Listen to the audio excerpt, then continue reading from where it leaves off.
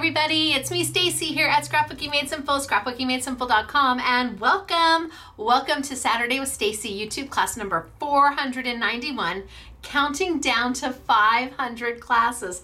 Who would have ever thought? Oh my gosh, you guys have been with me through long hair, short hair, medium hair, um, skinnier, less gray. I've been doing these for a while now and you have you have traveled the journey with me.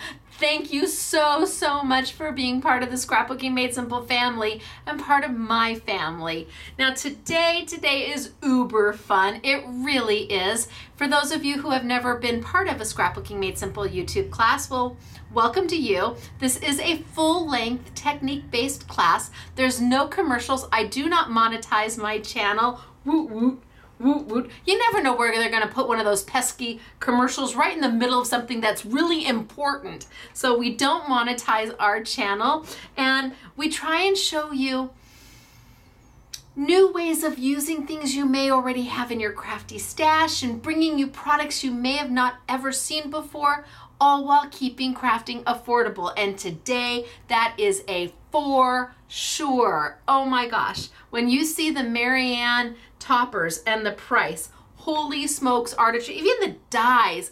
Wow. For an international company, job well done. We will be live chatting during the premiere. So if you see a live chat going on over here, pop in and say hello. Say, hey, we'll say, hey back. There's hundreds of us online and we would love to make a new friend. You would be you would be I guess pleasantly surprised to find how many people have made such solid friendships just through the live chats and then they they communicate through Facebook and outside of the live chats and it's just been wonderful having that opportunity to to grow and to learn about all of you. You truly have become our family. So today, today it's all about fun and ease and newbie crafters. This is right up your alley because there is nothing intimidating about anything I'm doing today. And if I can do it, you can do it. I promise you. And hopefully you'll find that most of this product is wow priced because we are trying to keep this hobby going and cra- keep crafting affordable. Now, I've got a little bit of, I've got Marianne for you. That's Marianne Designs, the new company. I've got some Sizzix for you. I'm, we're gonna be die cutting, we're gonna be stamping, we're gonna be coloring, we're gonna be we're going to be doing some stuff on black paper. Some of you are going to say, "Oh, Stacey, that's way too fiddly for me." Okay, I get it. And others of you are going to be going, "Oh, oh." you just never know until you see it whether you're going no or you're going oh. It's so funny how one word eh, how you how you say it how you how you use your voice to to the tone of that word can mean so many different things from from oh to oh to oh You'll have to let me know which one you are after the end of this class. Now I've got winner winner chicken dinner to tell you about. I've got two of them. They're on my blank piece of paper. Elena will be back soon and they'll be back to their purple pieces of paper. But for now, you, you you're a winner winner chicken dinner and you've got $25 to spend. How do you get to be a winner winner chicken dinner? It's so easy. First, you have to subscribe to our channel. There's a heart somewhere over here a heart with an SMS. Click subscribe. I thank you for that. then post a comment below. If you're commenting during the live chat, it doesn't count. You have to comment below, and the comment can be about anything, as long as it's kind.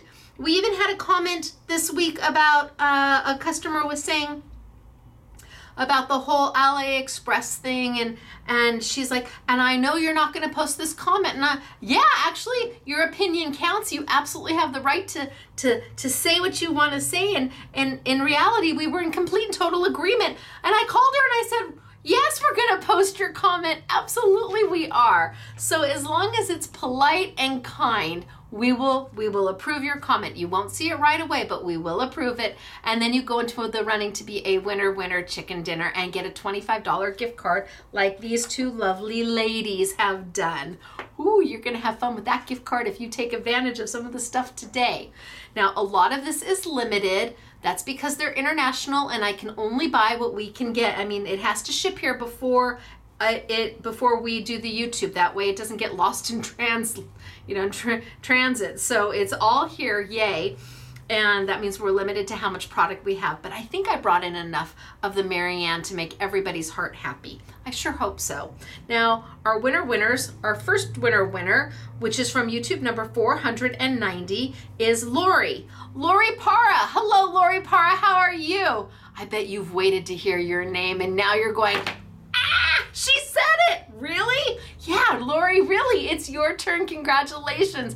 Back up the back up the video. Hear your name again. Call in whomever you need to call in, your fur babies, your spouse, your significant other, your children, your grandchildren, so they can all hear me say Lori Para. But you're not alone. No, no, no, Lori, you are not. Our second winner winner is Lindsay. Lindsay Shaw. Hello, Lindsay Shaw. How are you today? You also are a winner winner chicken dinner and had better be doing the winner winner chicken dance with me. Lindsay, stand up. Lori, stand up. Come on, stand up. I would if I could, but I am my own camera person, and so I'm pretty much stationary until the class is done. so, are you ready? Okay, you're a winner chicken dinner. You're a winner. Chicken dinner. Wahoo. Kachu for you. Congratulations to the both of you. I hope you enjoy your $25. Find something that makes your heart happy. Find something that you wouldn't necessarily have purchased for yourself, but now that it's free, why not? All right, you guys. So today, today it's about Marianne Designs. I've got Crafter's Companion, I've got Hunkydory, I've got Sizzix, I've got a little bit of everything for you. And as always, we're going to start off super simple, and then we're going to get progressively a little bit more and a little bit more and a little bit more. And hopefully, somewhere in this full length technique based class that's commercial free, you find something that piques your curiosity or reminds you that you can do this or that you do own that. Where did I put it? I know I bought that a while ago. I'm going to have to go find it. That happens more often than not. So I'm going to tilt on down. I'm going to get started for today. I'm going to show you a few samples. And then a little bit later on, I will be back up to talk to you because the reason I picked this product has everything to do with my parents. everything to do with my parents. I saw it and I thought, I have to have it.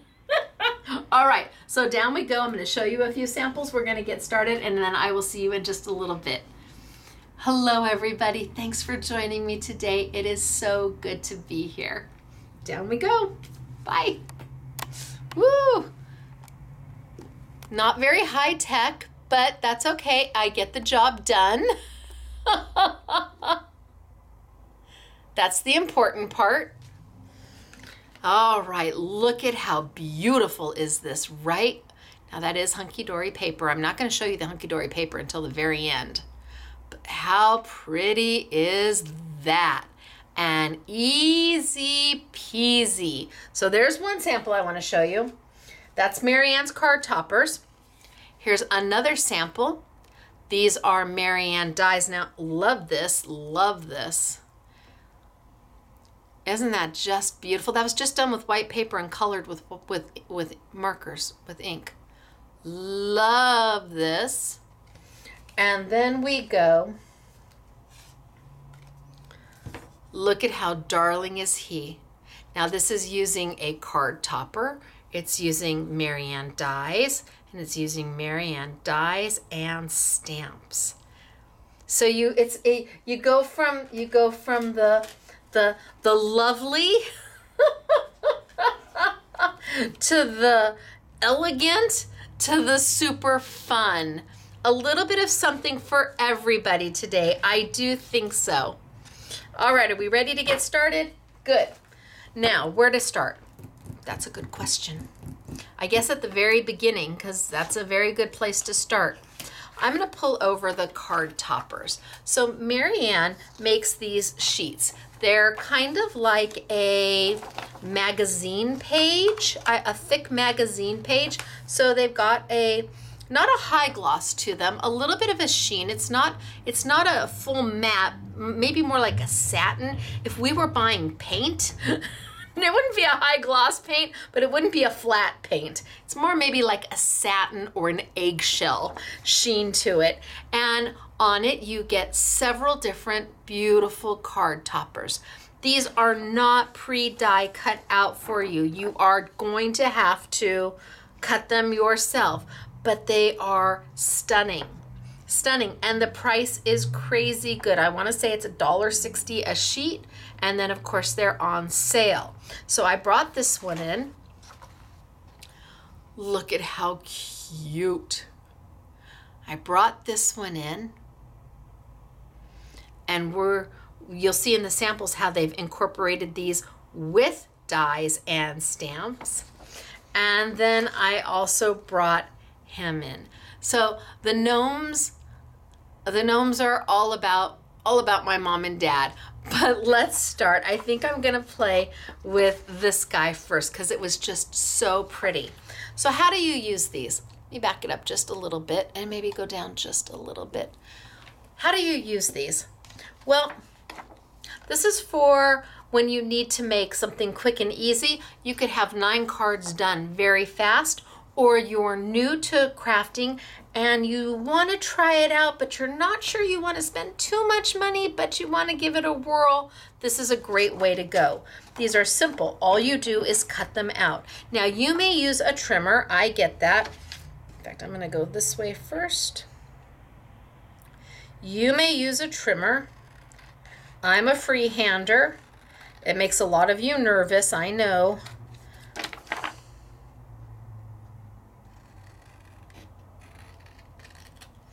Okay, so there's one. And let's do this one up here.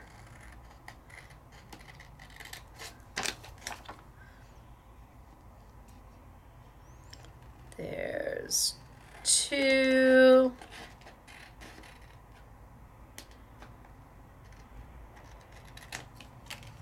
And, oh, I like this gray one.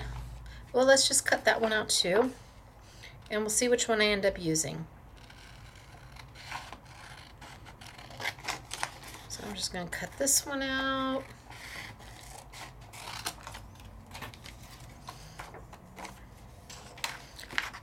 I should have just cut the whole darn thing up, right? And then I can decide.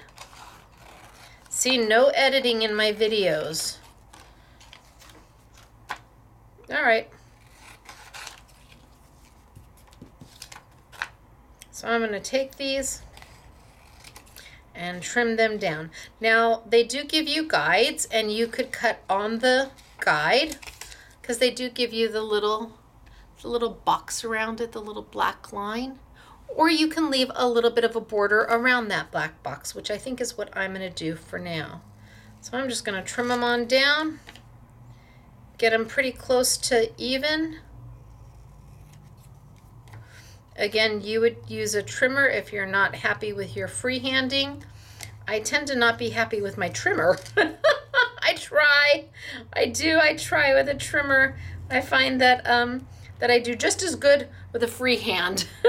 okay, so there's one.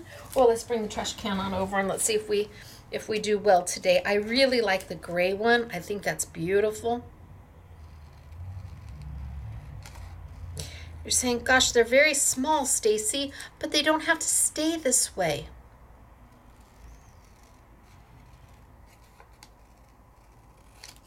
You have the opportunity to mat and layer and build on them.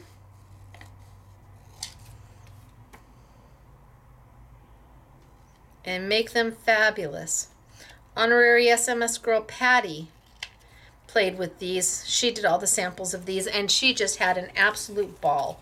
All right, I think that gives me a couple to play with. chop that top piece off just in case I decide to do this one too. And to start, I think I'm going to bring over my Sizzix paper. So I'm playing with, I'm playing with the botanical colors today. This is Sizzix cardstock. And this, these are their botanical colors. They have several different collections of cardstock, botanicals and muted and festive and mystical and everyday. And the nice thing about their cardstock is no matter what pack you buy, the colors don't duplicate.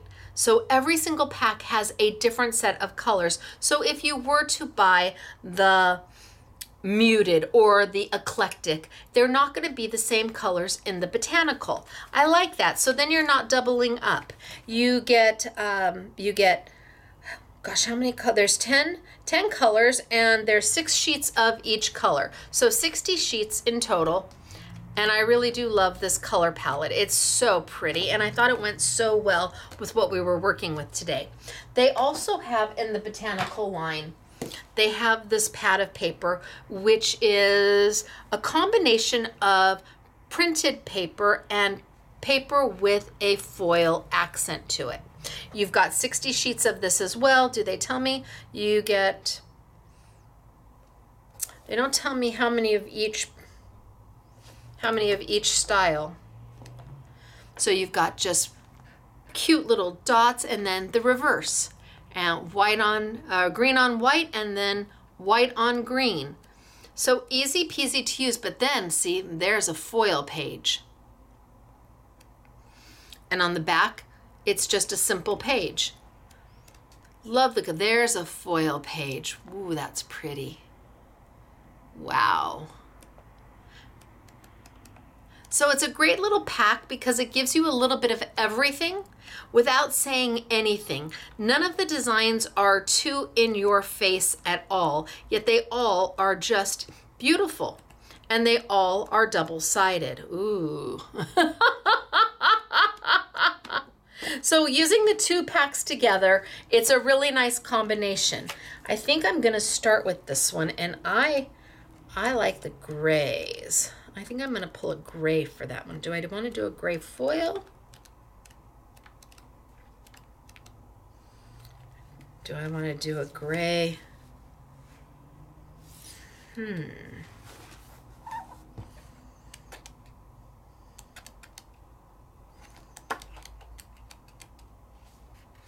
Maybe we do the gray foil. Well, let's try it. It's the worst that can happen. We don't like it.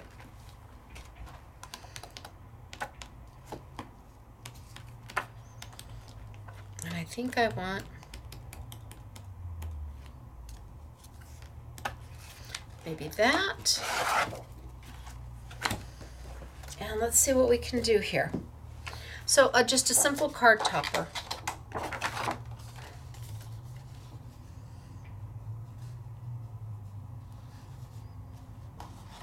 Maybe I grab a piece of cardstock here.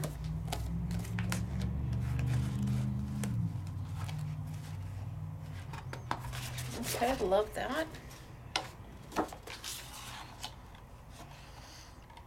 And I go there. Yeah, I think that's what I'm going to do. I go there.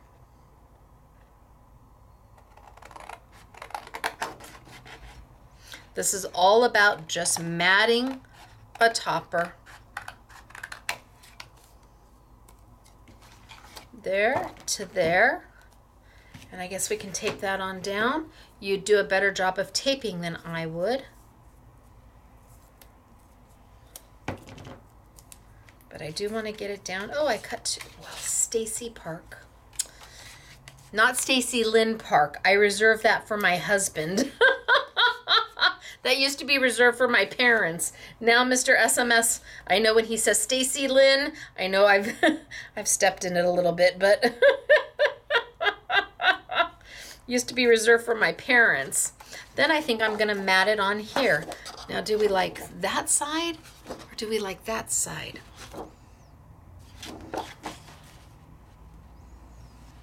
I think I like that side, and that's the where we're going to go. I'm going to just straighten this out just a hair bit. So this is just about cutting. So if you're new to crafting and you want to make some easy, pretty things, You want to start simple. I feel you. All I'm doing is cutting rectangles.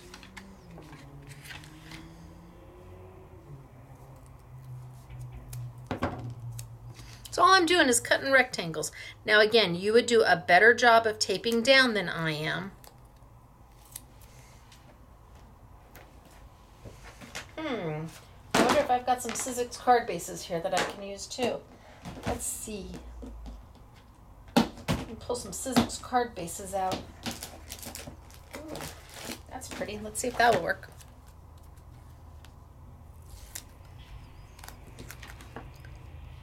Put that on there.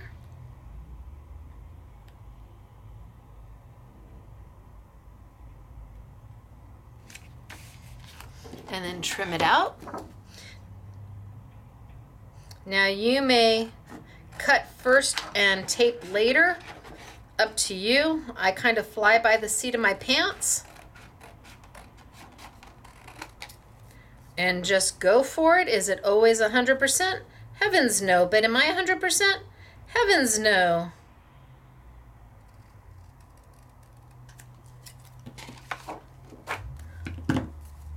That's where we are. And then maybe, ooh, instead of that one, what about that rose? Where's that rose? Ooh. Okay, I found a different colored card base I like better. Now let's take that gray.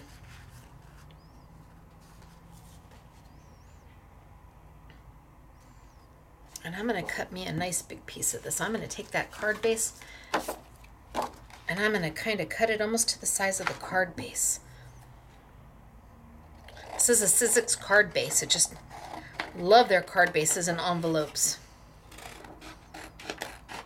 And this color is, well, this color is rose. Good to know. so let's trim it on down.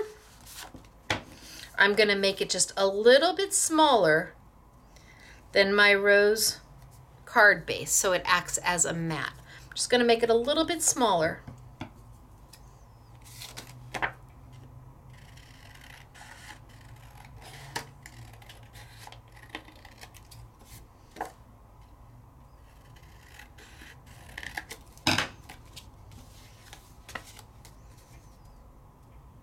Close. To take off a little bit more off the bottom.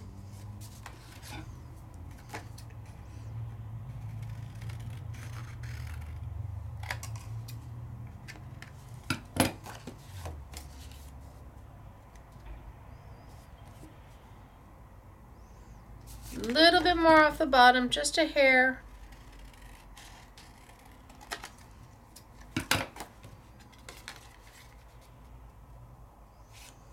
That looks good, yeah? And I've got that beautiful foil going on. Quite a few sheets of the paper and the paper pad have that foil accent to them. And everything, everything, oh yeah. All I did was cut rectangles.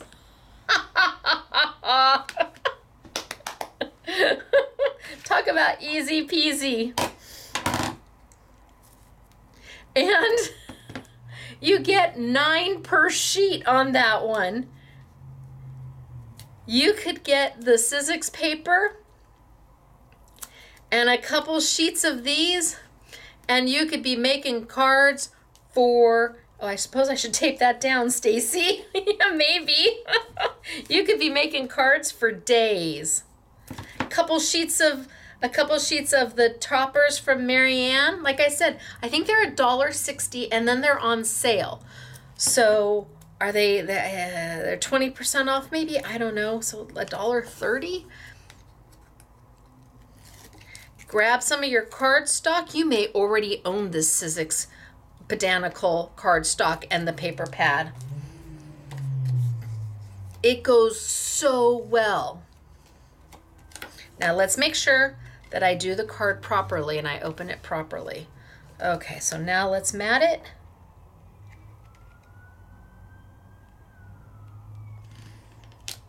There's the sirens.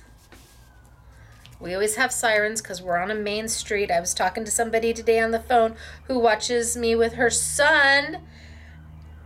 There the sirens are. she was so nice. Lovely lady, very, very kind.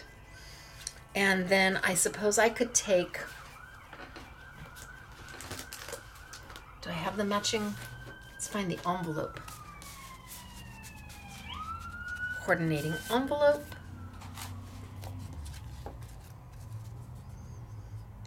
Oh, well, why wouldn't we? It fits exact. Maybe down at the bottom. Why wouldn't we?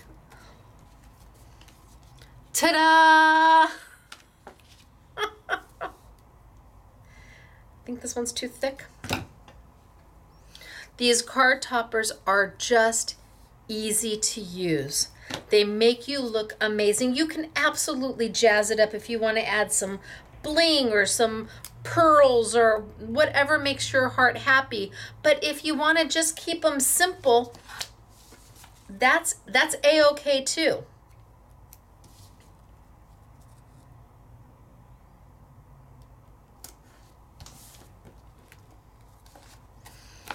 Envelope, card. So let's say you have to give a gift to somebody. You take a sheet of that paper, make them nine cards, do the sentiments for them, hand it to them, and they, they can send them to their friends. Love how simple they are. Let's see. Um, what other one do I want to use? Let's pull some paper and let's see what other one I want to use. So, hmm, hmm, hmm. Hmm. Ooh, that looks good.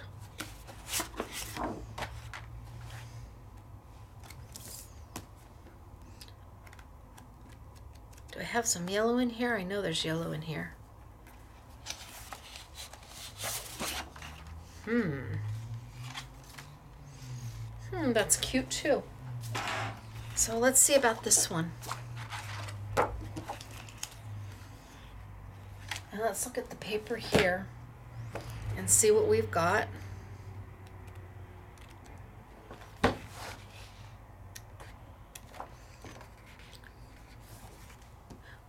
I pulled that. No, that was the gray. I don't want to do the gray.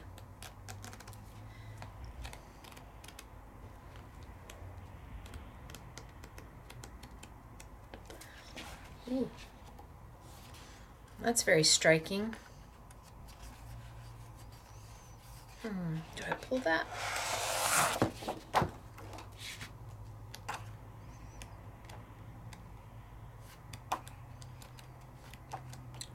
What do you guys think?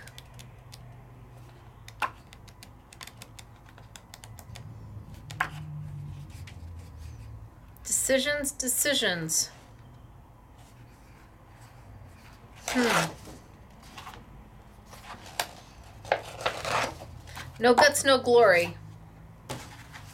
And now that I'm looking at it, I think I might just use that green.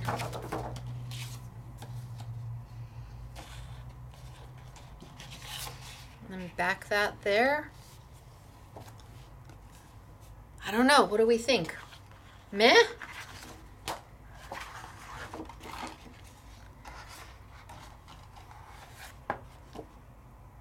Too much?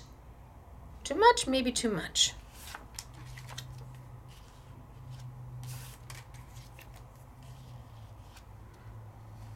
Ooh, that looks good. But not with that color there.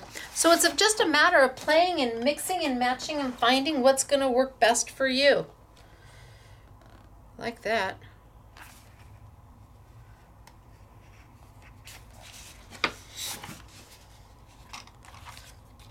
I like that.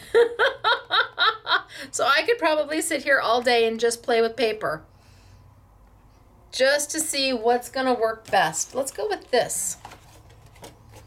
Change it up a little bit. And let's tape it on down. We can square it up. And away we go.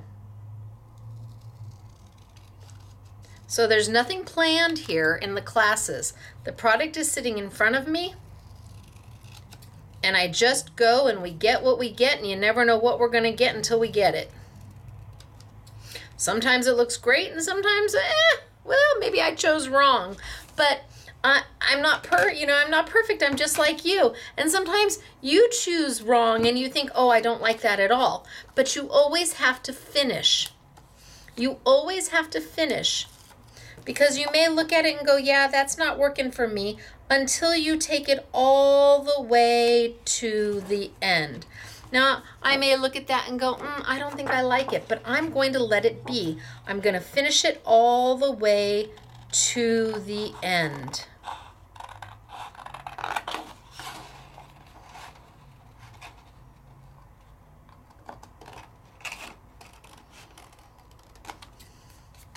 So I like that.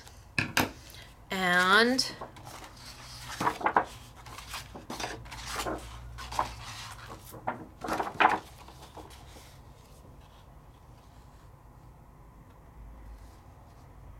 And then I think I'm going to go here.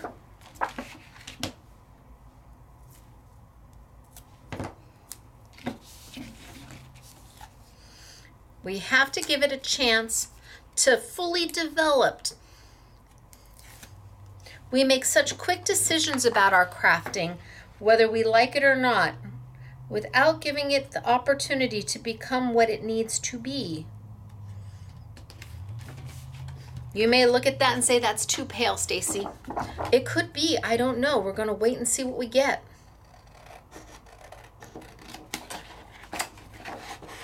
Oh, that was a terrible cut.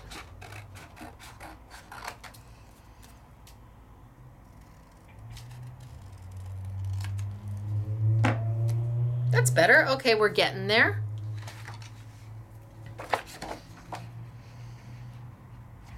And then let's grab a card base. Let's see what colors do I have in here.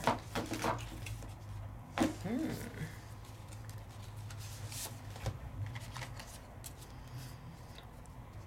Oh, I almost like it just like that. Look at how pretty is that?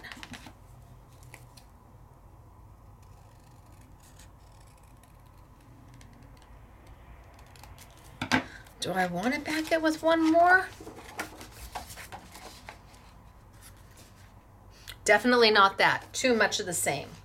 Definitely needs something to contrast. Not feeling the gray either. Are you feeling the gray? No, me neither.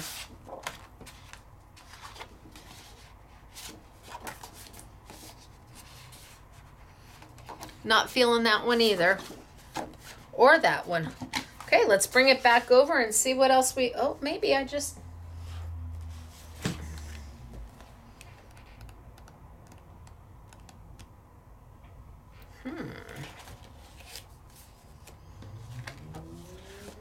I could be feeling that.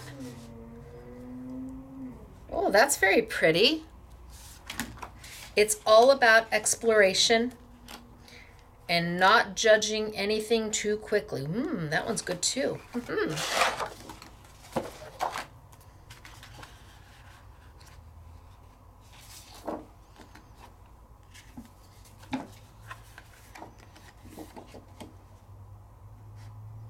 Nope, I like the dark. now that I've pulled out 15 different sheets, I like the dark. That's so funny. That's so typical me. Paper is a challenge. I absolutely struggle with it. All right, I'm going to cut that down. Not crazy about that side with this card, but I'm not doing that side.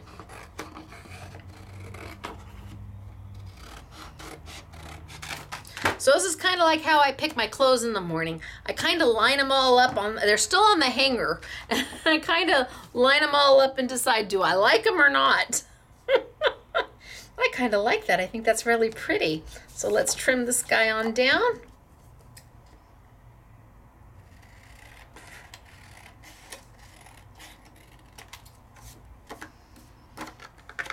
And we're just cutting rectangles.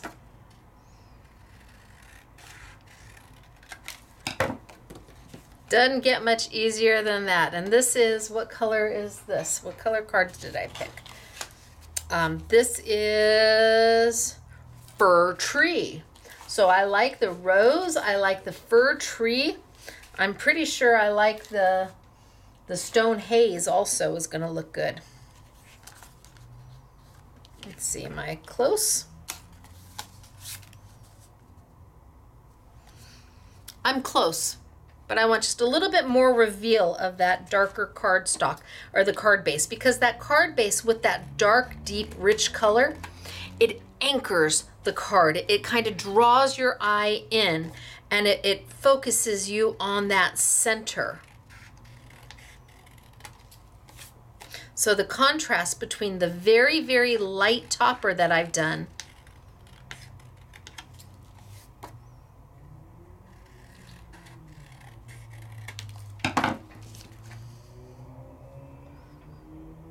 just about there. You're like, if you had a trimmer, you'd be done by now. I know, but what fun is that? All right, so all my scraps into the trash. Make sure that I have my card going the right way.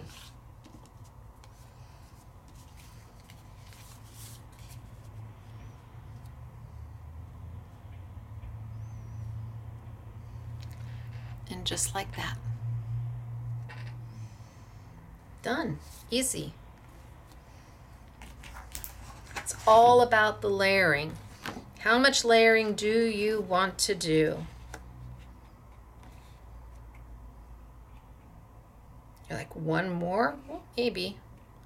A little bit of gray just to, just to.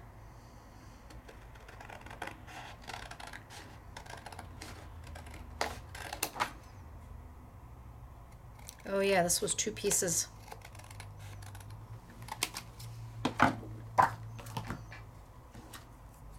So just a little bit of gray.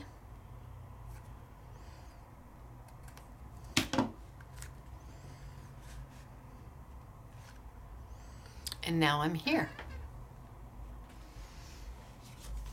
Completely up to you.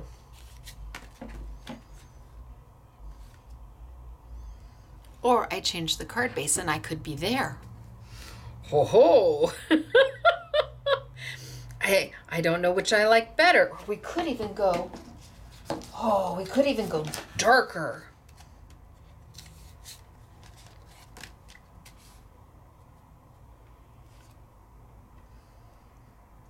Wow, that really dark goes really well here.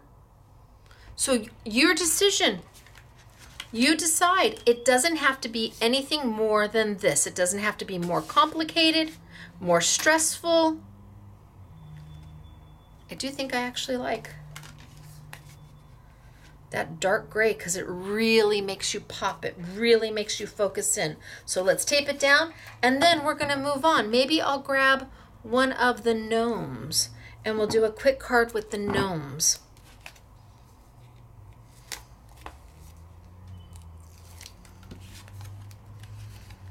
I love just how easy this can be.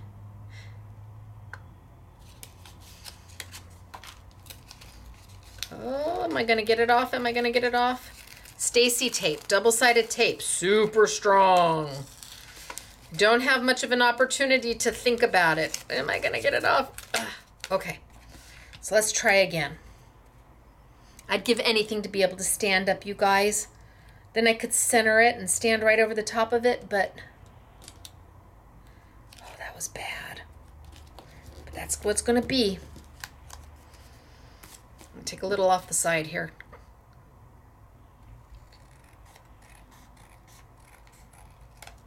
All right, I'm going to let it be what it's going to be. Then I'm going to put this there. Let's see if I can do a better job centering this. And put it on my card base and we're done. Bam. It took me more time to figure out what paper I wanted than anything else. And that tends to be my crafty life. Paper for me, paper for me is a challenge.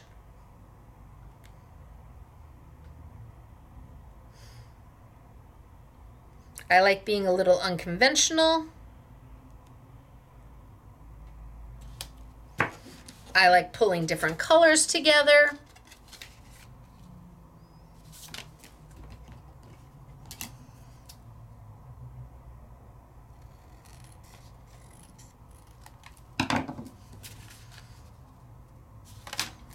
One little zoop. Sound effects required. Zoop.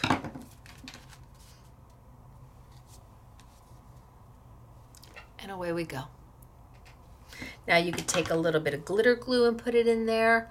You have you have options, but I've only used rectangles. You may have oodles of scrap paper that these little toppers were just made for, where you can pull that little scrap paper out and just start matting them.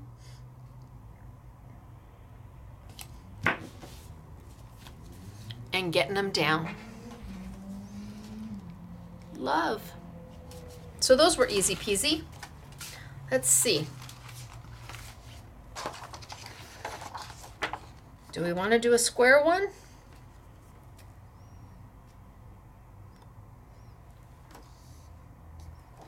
The little, little, well, let's do this guy.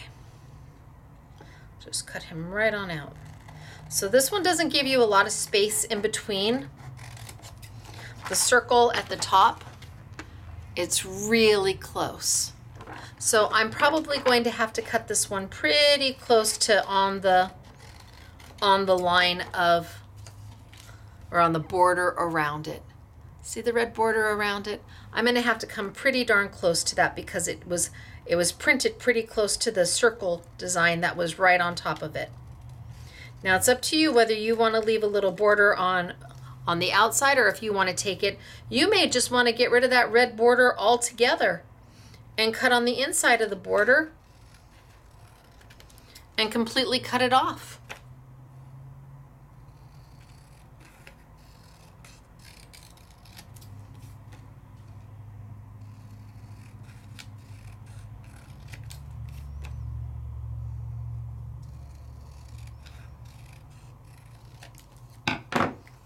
and cut that border completely off.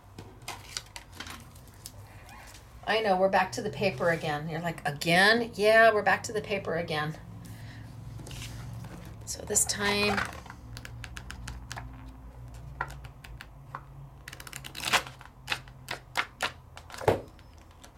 I think a sheet of that. And let's see what else we've got here. If we can utilize some of the stuff I already pulled out a sheet of, ooh, that looks good.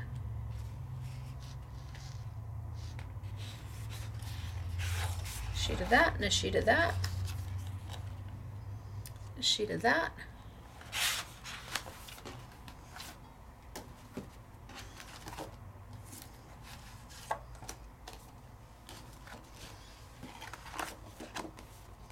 Looks pretty on that, right? Take it and put it down.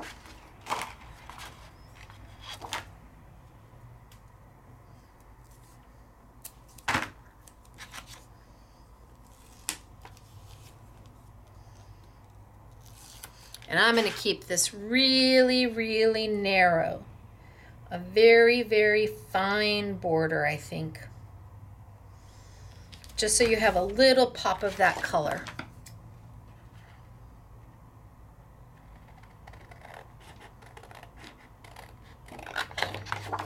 I mean, narrow, narrow. Almost like it was printed with the topper. That's pretty narrow. And then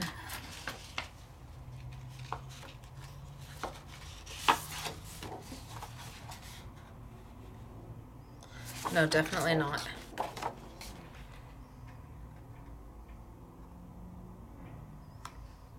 That's kind of cute. Let's put this down before I cut.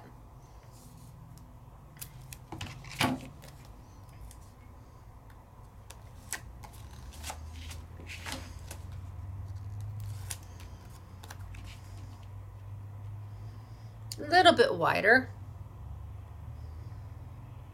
I can go much wider.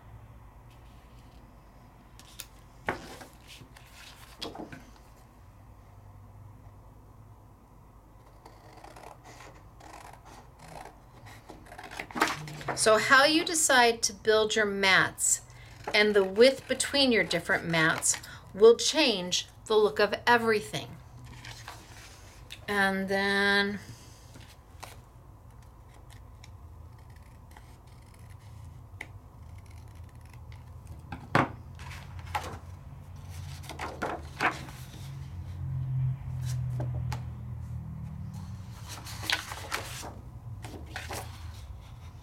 Nope. Nope.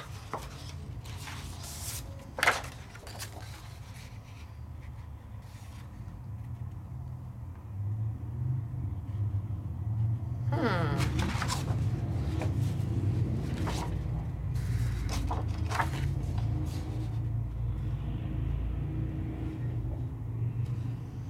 No, I think I'm going to do that one, the red. And then we'll mat it onto a card and call it done. Unconventional colors, unconventional patterns. And I'm going to keep this one super narrow again.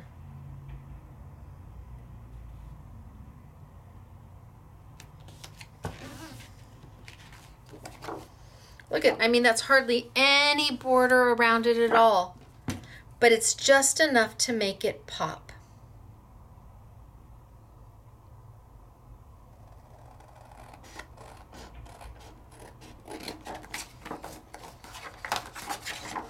All right.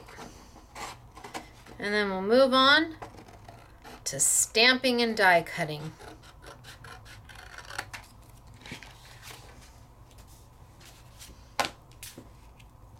Oh, of course it's too big.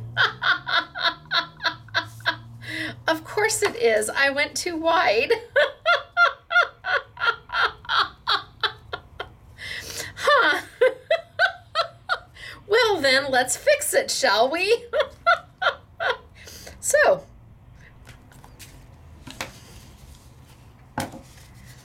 I went too big with my mats. I don't have a bigger card base. I'm just going to have to make it work.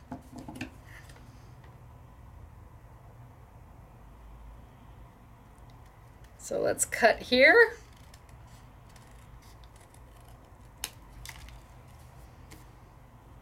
And let's cut here.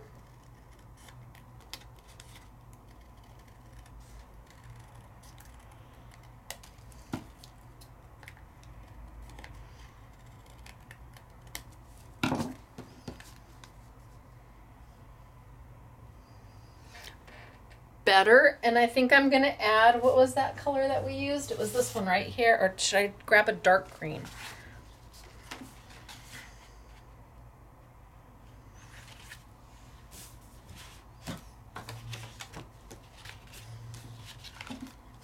There. Wouldn't you know it? So just fix your mistake and call it done.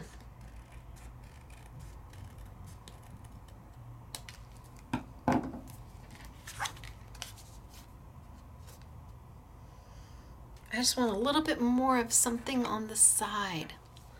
Maybe I do bring in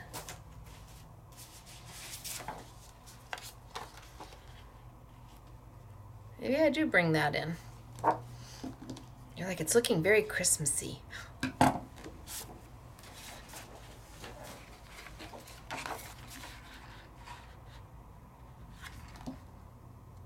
Okay. a little something more on the side since I had to cut my top and my bottom off.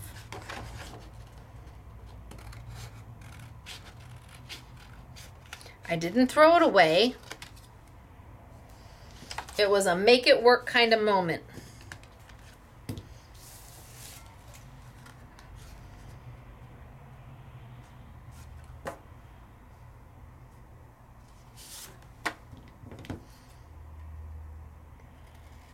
We're gonna be. All right let's see if how close I was. That looks pretty good. Set it on down and put it on down and we're moving on. That's three cards with toppers. Took longer to pick the paper than anything else. The struggle is real. Some of you are not paper challenged at all. That's not me.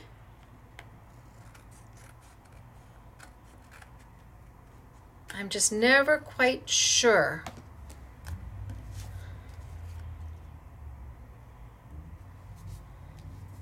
There.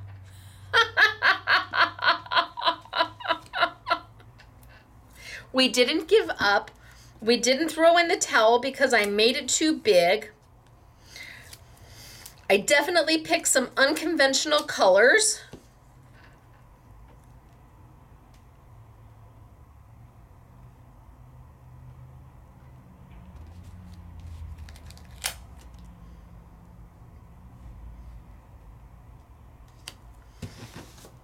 And this time I just cut squares.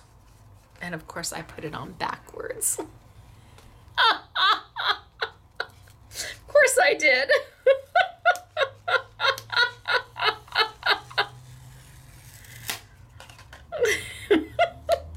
See?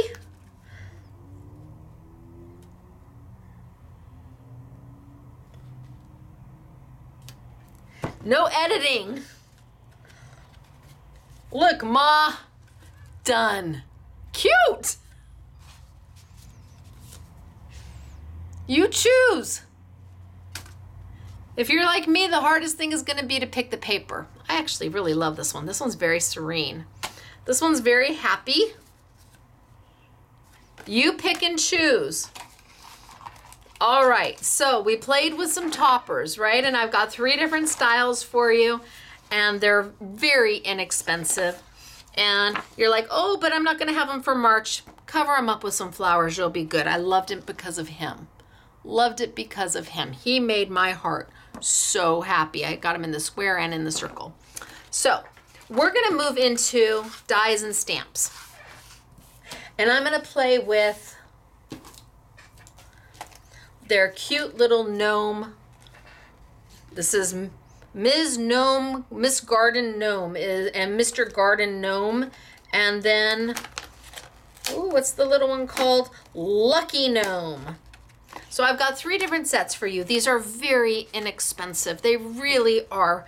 They're, they're easy to use. They're open frame dies. They cut like a dream and they're cute. But I gotta tell you, let me go back. I saw them, and the minute I saw them, I thought of my parents. So, for those of you who have known me a long, long time, um, you know that my mom and dad lived with Michael and my my boys and I for a very long time. My mom had, um, my mom actually had she had psychotic depression and dementia, and my dad had Alzheimer's, and I had both of them. I always knew I'd have both of my parents at some point because my brothers and sisters, who are much older than me, walked away from us years ago. I mean, I, by the time I was eight, my brothers and sisters were out of the house, and I've never really had a relationship with them, and they just kind of, they just kind of went away. So when my parents started getting older and in failing health, they moved in with Michael and I and lived with Michael and I and my boys for many, many years actually. Um, and I was all the way to their passing. So I'm, I'm much better now. I can talk about it now without tearing up most of the time. So, my mom was diagnosed with psychotic depression and dementia, and my dad had Alzheimer's. My parents were divorced when I was 10. they had been married for 20 years and my mom kind of grew up. My mom was always the fifth child, and because I we have my parents had four children, and my dad kind of treated her like the fifth child, like like here let me let me balance your checkbook and here let me do this and let me show you that and you don't know this and you don't know that. And finally and my mom couldn't even drive when they got married.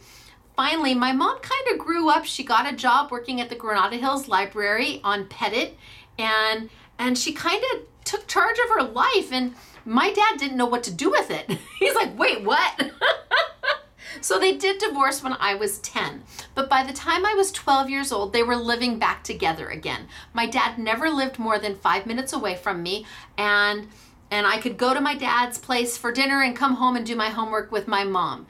They loved each other immensely, but could not live with each other for an extended amount of time. My mom was not willing to be a child again or be treated like a child again, and my dad, well, it's hard to train, uh, you know, to, to train old dogs to do new tricks. So they they moved back in together when I was 12, and we moved into a a garden home out here in Canyon Country and it had this huge backyard, enormous backyard for a home here in Santa Clarita. Huge backyard. And my mom loved to garden. She loved to garden. She had roses like you couldn't believe. I mean, she'd have her, she had her little stool that was on wheels and she had her little tools and she had her gloves and and it was all about her garden. She would sit there and she would like work the dirt and pull the rocks by hand out of the dirt. Crazy. But my mom would go to places like Green Thumb. Those of you who are, are have been in Santa Clarita Canyon Country, Newhall, Saugus, Valencia long enough, you'll remember Green Thumb. She would go to the Do It Center. These places are gone. They're not here anymore because they would always have, what is it, garden art? oh, my mom. My mom liked her garden art. I think that's what you call it. And there was a pathway a pathway to the front door. You had to go this house that I lived in that that that from 12 till about 18 there you you walked up to a gate and you opened the gate and then you walked up to it was about a, a 15 foot path to the front door so you had to get past the front gate and then you went to the front door and she had all of her all of her plants and roses and then she had this this garden art gnomes. Gnomes. Oh my gosh. My dad couldn't stand the gnomes. And the garden extended into the backyard where she had all of these rose bushes with gnomes around her, her rose bushes. So, my dad, being the smarty pants that my dad was, I mean, he was just a little poke, poke, poke. Now you know where I get it from when I poke, poke, poke manufacturers. I am my father's daughter, no questions about it. My dad must have been out somewhere doing something where he found his own gnome. So so I come home from school and I, you know I, I don't really pay attention to the gnomes. I mean, no, not at all. But I see a new one and it is dressed like a Rams football player where my father because the internet was not a thing back then i'm old i'm 54 years old there was no internet back then where you could go google you know, Rams football player gnome. so I don't know where he found it, but he planted it right in the middle of my mom's garden.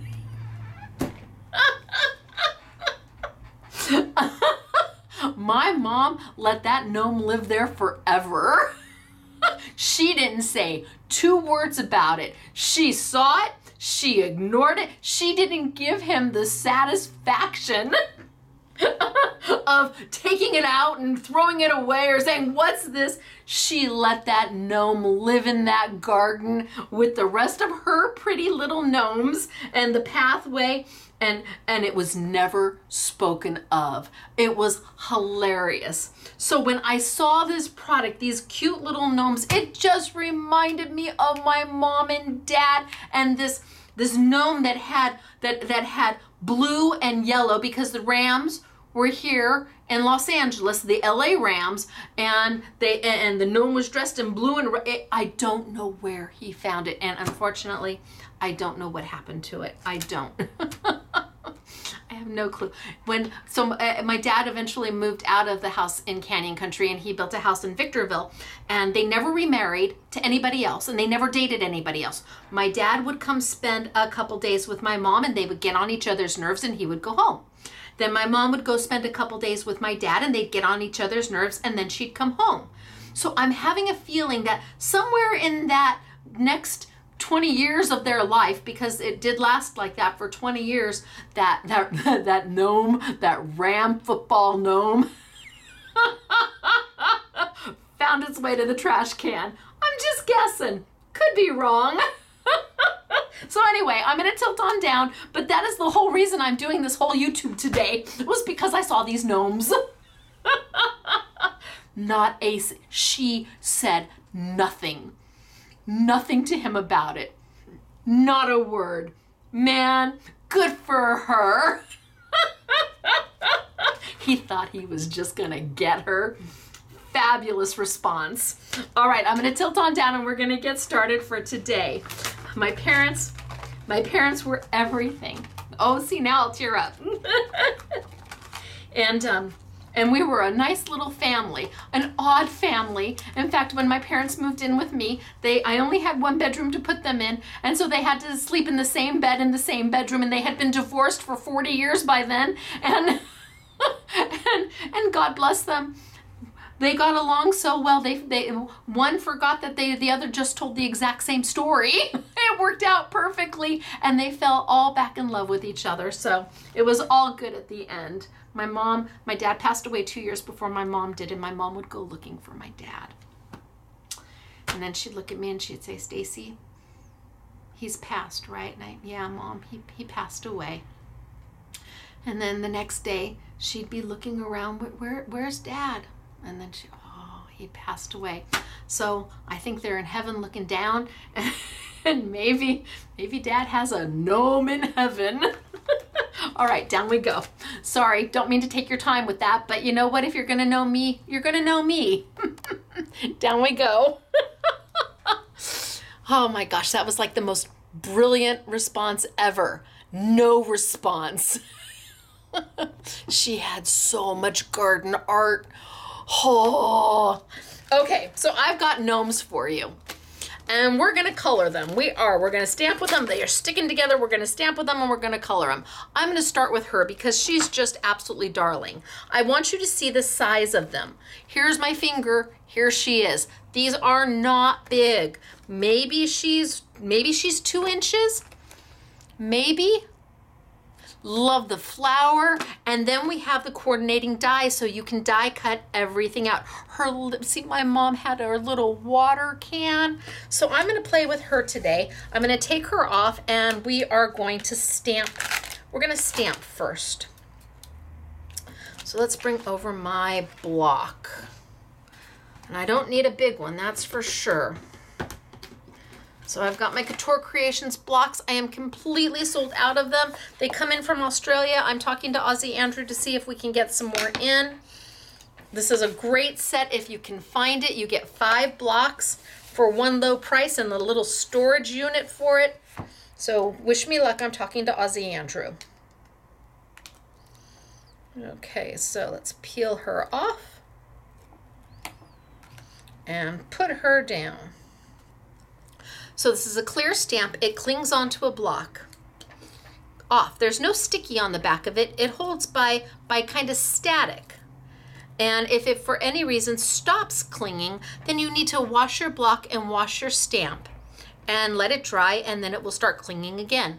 There's oils on your hands, there's embossing powders, glitters, whatever that you get on it that may stop it from, from clinging.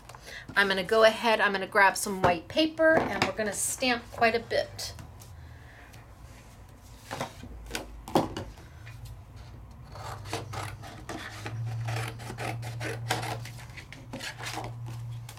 Okay.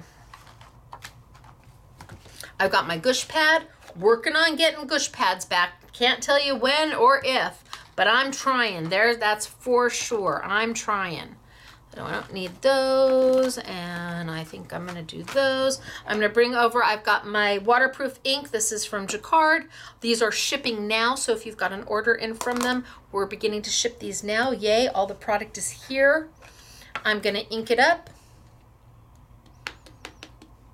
And the beautiful thing about the ink is that it is a really nice black and it doesn't move with any kind of water or alcohol. So you can use your you can use your Copic markers or your Couture Creations alcohol ink markers or your Sizzix alcohol ink markers. One, oh, she came out good on the first go round. Look at that. Usually the first stamp, it's kind of meh, but she came out really nice. It's kind of like the first pancake you do. First pancake never comes out good. You gotta like get the pan ready for it or something. The second is better. The third, you're on a roll and you're good to go. I've never had my first pancake ever come out good when I'm cooking. Okay, so one, two, and I don't know if we'll do, yeah, maybe we'll do three.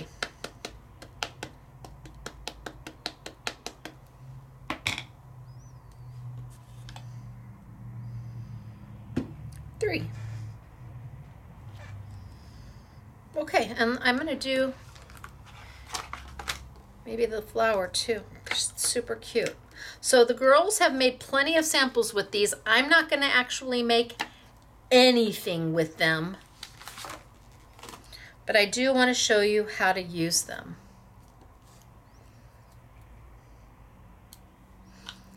Flower's a little bit bigger than two inches, maybe two and a half. And the flowers fit into they fit into one of the frames. So let's see. One.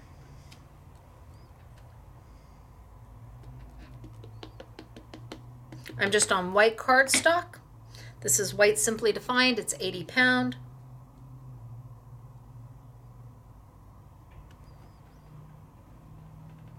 Two. All right, I think I'm okay with that and we're to color.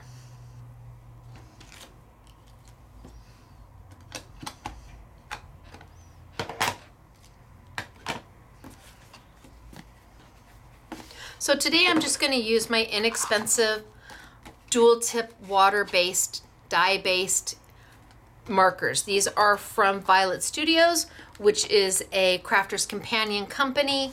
They're very inexpensive. They retail, you get 30 markers, they retail for $19.99 and then we put them on sale. So great colors, great ink inside them. They do what you need them to do. And I think the one thing that I like most about them is that they are not only are they dual tip like a Tombow, but the tip of them you get the brush tip like you would be expecting, but on the second side you get a very very fine brush tip. Most of the time you get on the second side you get a bullet tip, but not here you get a second brush tip. And it's super fine. So you've got two sides with brush tips on them, and that is unusual. They're definitely a water based. They're not an alcohol based ink. They're a water based ink and you can use them just as a marker or we can palette paint with them. So just as a marker, hmm, just as a marker, I suppose I could go in and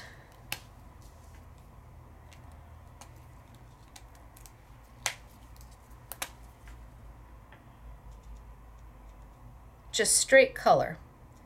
So if you wanted to stamp these ahead of time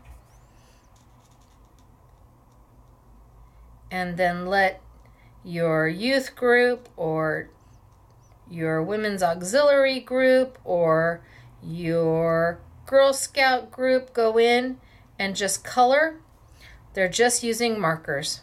And you can use anybody's markers. You don't have to use these. What markers do you have? If you don't have markers, then this is a nice little set that gives you a great amount of color. It has, see, I'm using the smaller, the smaller side right now to color. And I can go in and just add my color.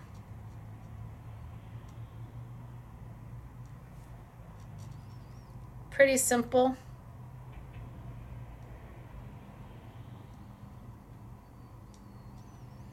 Nothing too rocket science here.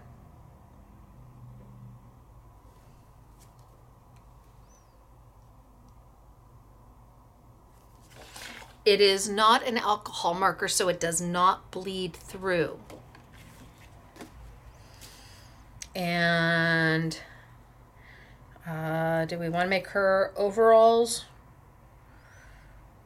red too?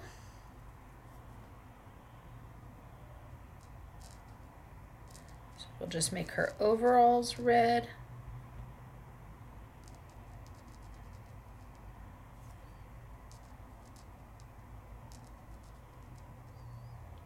and keep her very simple. I'm not trying to blend color. I'm just trying to get some color on. And she is small, so that extra detail of having the fine brush tip on one side is very helpful.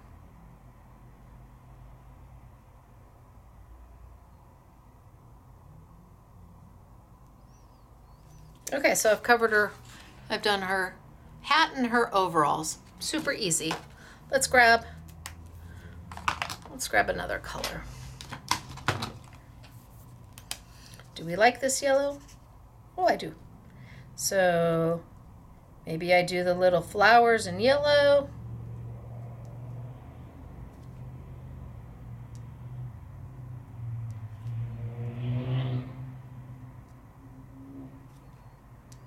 and I'm not being exact. I'm just getting in there. I'm not trying to. I'm not trying to go in there and um, and color each line. Make sure you can see. I'm literally just going in there and kind of going around the red. And any place I see white, I'm just filling it on in.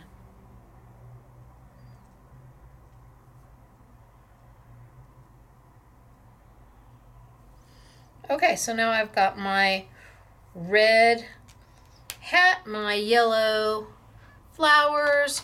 Let's see, what color blue is this? Oh, cute. I'm going to do her little pocket in the blue. And her little patch down here in the blue and her little pockets over here in the blue and her little hat in the blue. And I'm just coloring. No blending, no highlight, no mid-tone. I'm just coloring. And maybe we'll do her shirt in that yellow. And again, it's having that, that nib that's, I'm gonna go down a little bit further. There, yes. Okay, it's having the that very fine nib that makes it helpful. Could you do these with the Sizzix alcohol ink? They've got that nice nib. Absolutely, you could. You're just coloring. I'm not trying to blend anything.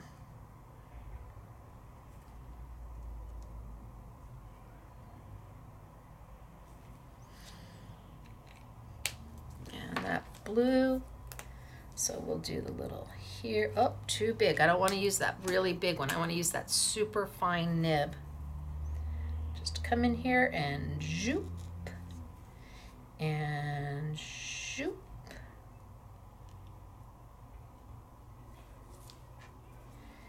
And down here. And she's just taken shape. She's just taken shape. Let's do her hair. Hmm. Let's see, what color is this? What color is this? That'll do for hair.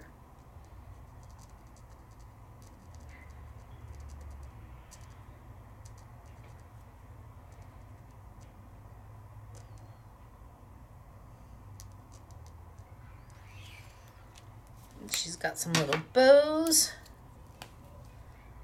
So I got a bow here and a bow there, bow here, and then her little hands.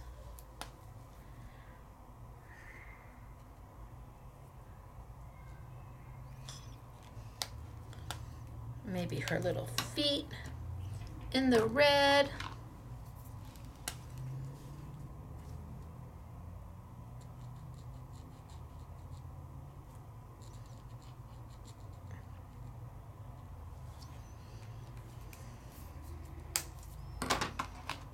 Little nose. Too big.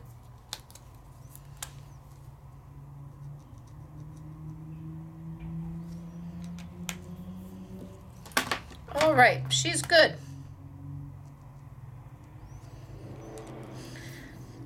Done and dusted.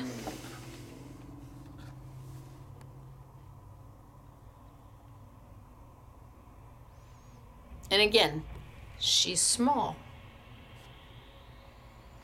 So if you just want a color, it can be that easy and that simple. But what if we wanted to take it to the next step? What if we did want to palette paint? What is palette painting? For those of you who have never seen palette painting before, it's taking a marker that is dye-based, water-based, and instead of putting it here, in fact, let me grab a piece of paper. Instead of putting it here and moving it with water, we're going to put it on a craft mat or on a block of some kind, whether we use the block that we were stamping with, anything that's non-porous can act as a palette. It doesn't have to be a craft mat. It can be a Sizzix cut pad. It's whatever whatever acts as a palette for you. In fact, if you took a cut pad and just put a piece of white paper behind it, or anything transparent and put a piece of paper behind it, you'd be able to see clearly a little easier where your color actually is as opposed to on the craft mat. So palette painting is simple, easy, effective, but what I wanted to let you know is that you can't blend these colors on paper. So if I were to take my yellow and then I was to take my red, I can't add water. Let's put a little bit of water over here. I can't add water to a paintbrush and then think I'm going to go in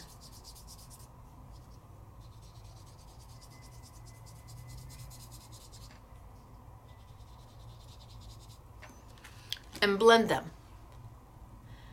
That's not going to happen. It's not going to work. They're not meant to be used that way. I'm never going to be able to get that yellow to not have that that streak of yellow and I'm never going to be able to have that red not have that streak of red. That's not how these work. You can either color with them like I did right here and she's darling or you can palette paint with them. Clean this off. And to palette paint, like I said, you have options. You can either put your color right straight down. Oh, there's kids outside playing. They're loud. You can put it right straight down on your craft mat. For darker colors, it's not so difficult to see. Can you see that one, that red? Darker colors, it's not so difficult to see. There's red right here, but lighter colors can be a bit of a challenge. So now I've got yellow right here. Now because this is a non-porous surface, this ink isn't going to dry. It's going to kind of stay there and, and I can get it wet and by getting it wet I can then palette paint. So if I put a little bit of water over here a little bit of water right here. I don't want to put the water directly into my color. I want to have a little bit of water over here that I can then move into my color. And the more water you use, the more diluted your color becomes. So I've got a lot of water going on right there. A lot of water mixed in with that red. And that means my color is going to be very diluted very light red. But if I add a little bit more red and a little less water, now my color is a little more saturated. And if I add a little more red and a little less water, my color is going to become even more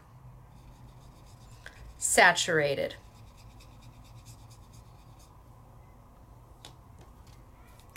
And it's all the same tone.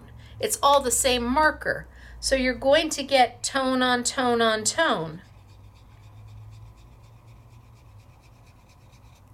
Which means they're going to look beautiful together because it's the same color. It's just been it's been thinned out. The saturation has been thinned out so that it's very faint into a very, very dark color. And it's all about how much water you use. I've got a lot of water in there. Now I'm back to a very soft color.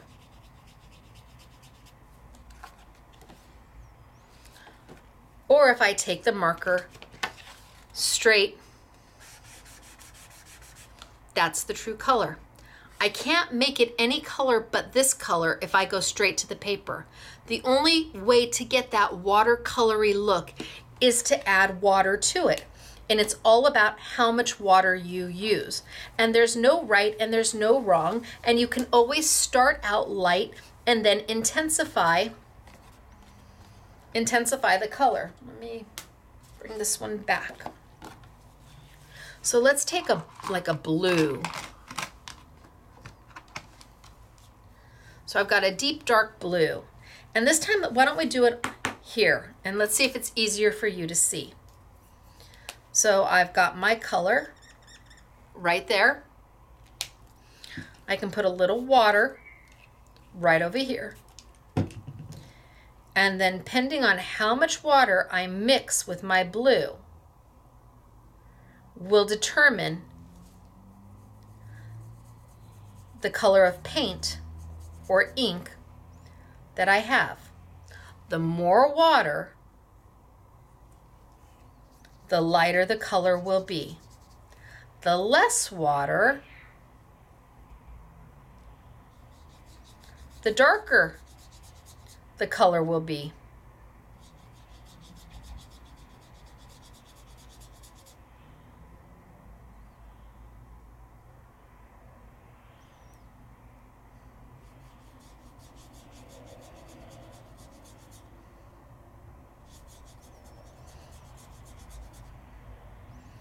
Totally up to me.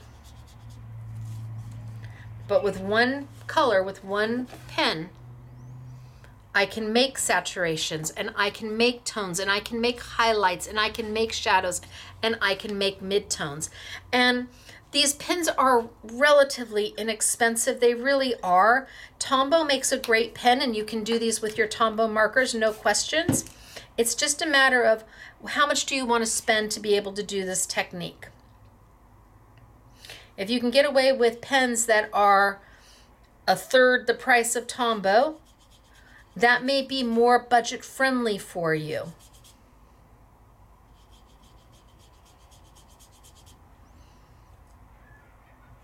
It's all about how much water how much water you add.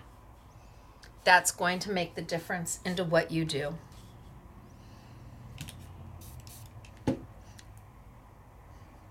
No, I've just got a ton on here.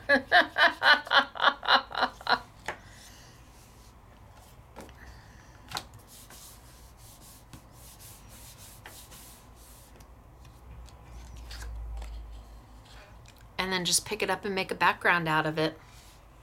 That's the leftover. Maybe we save that and do something with that. And then I wipe it on down. So if you don't want to use your craft mat, or if you have trouble seeing the color on your craft mat, certainly any clear block or a Sizzix cutting pad with a white piece of paper behind it.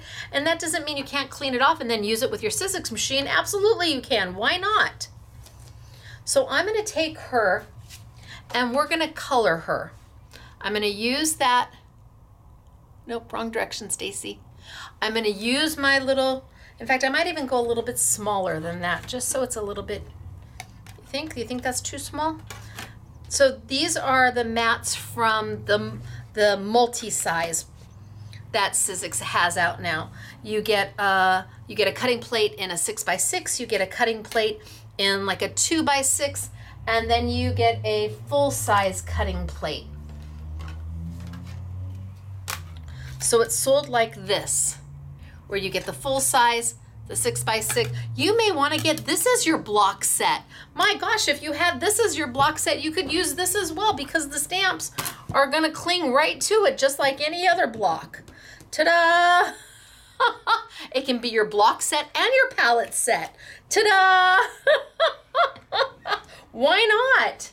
So now, um, if you are going to use them as a as cutting pads, I recommend that you get two sets because you only get one of this size, one of this size, and one of that size. And you'll see me, I'm going to use two of these a little bit later on.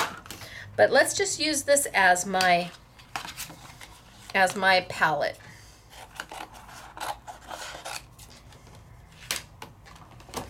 And let's go in and let's do the same colors again, if I can remember what I did. So I used the red. So I'm gonna go in and I'm gonna use a little bit of my red. So you can see that, right? That's easier than there, here versus there. And I can either put my water on my craft mat or I can put it on my on my block and then I want to go in and I want to use a little bit of color. Now you're going to see me do this a lot. That is me taking color off of my off of my paintbrush. At some point, I'm going to want my paintbrush to be almost dry, so I want to take color and water. I don't want too much water. So I might start painting her in and I'm going to start, see it's a little watery, so I'm going to take a little bit off. I'm going to start with a light pink. And I'm just going to go in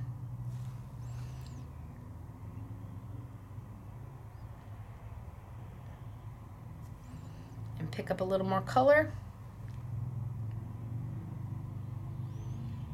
And go in and make a light pink. I don't want it too watery.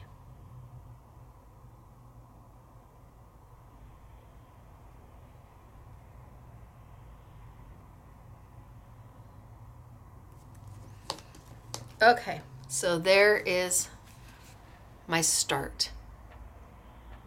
Now I can start building on that color by using less and less water mixed in with the red. So now I have a little less water mixed in with it. A little bit of water. And I can come in, oh yeah, definitely a darker shade, and start adding some shadow. So I'm going to go over the whole thing a little bit with this slightly darker shade.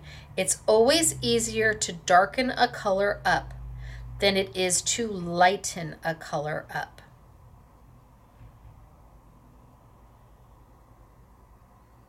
So now I've got a little bit darker, still single tone. There's no highlight or shadow or shading in there. A little bit darker with my red now.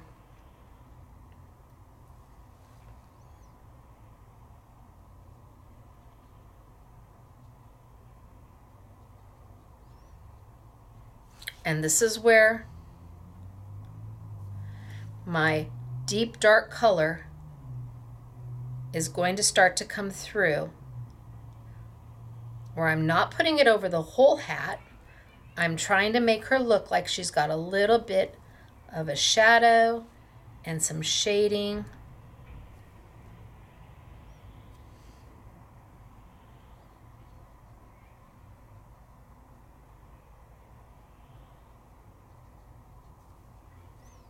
And I'm pulling it off, that water off, so it's almost like a dry brush towards the end. So I can just feather that color in. Go a little bit more. And like almost zero water. And I'm pulling it in from down in that corner.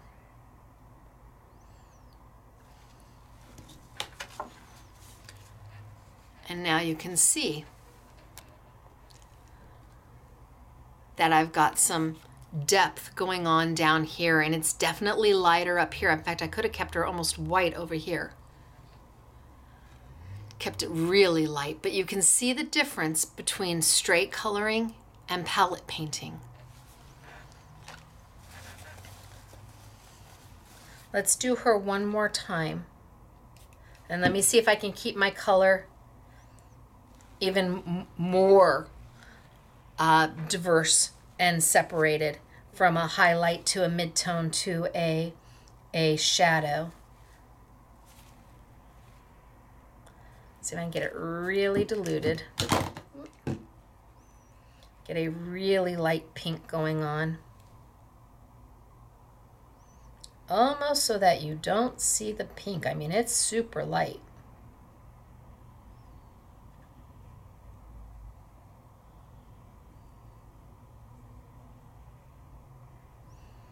It's a whisper of a color.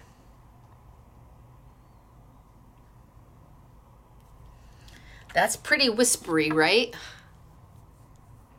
Now let's go back in and we'll add a little bit of a mid-tone. So water, but a little bit less water.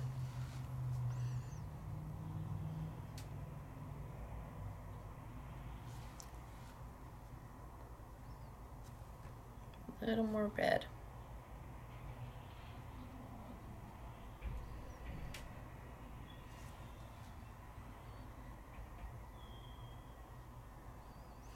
And I'm going to keep it, I'm going to keep it kind of straight up and down. You add a little bit more red.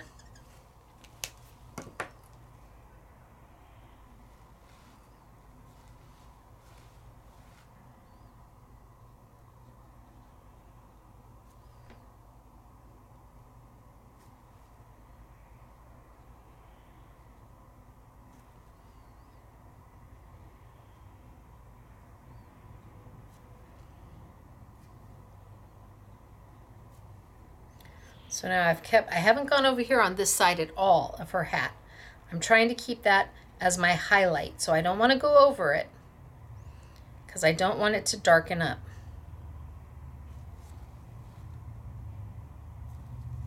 And now I'm going to pull all that water off and kind of just brush it in.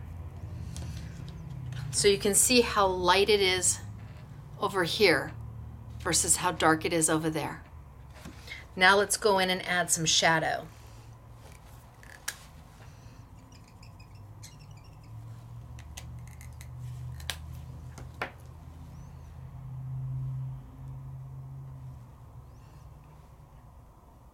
And I want to get this as dark as I can get it.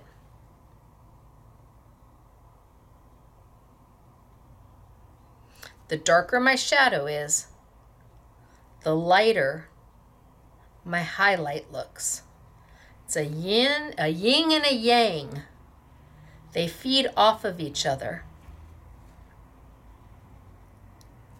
The darker my shadow, the lighter my light. And I want to pull all that water out and I just want to kind of smooth it together.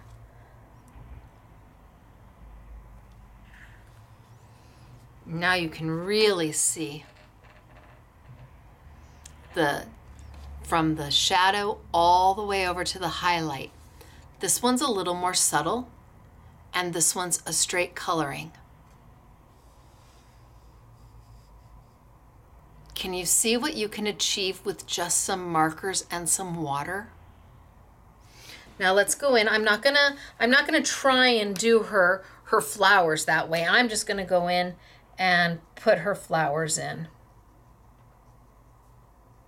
They're too small to try and get a highlight and a mid-tone and a so I'm just going to go in and put her flowers in and I'm not even trying to stay in the lines. I'm just trying to get them in. Get some yellow going on.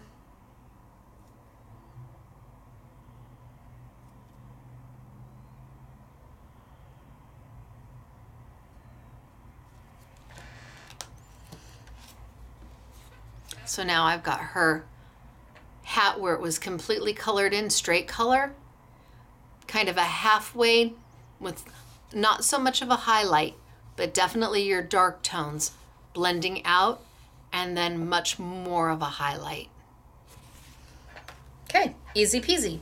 Now let's go in and we did that light blue. Was this the right blue that we did? Okay, so let's see what we can do with this. I can just wipe this right off and get the red right off of it. Because all it is is plastic. I think I'm going to go in with a maybe a little narrower brush. Get my blue on there. Can you see my blue on there? Versus my blue on my craft mat. A little bit harder to see, but take an inexpensive Sizzix block, inexpensive Sizzix cut pad, and away you go. Now, I'm not going to need much to do this because this color is light, light, light already. In fact, maybe I even take a little bit of a darker blue and I blend them. Oh, you did what? I took two colors and I blended them. So let's see what I get.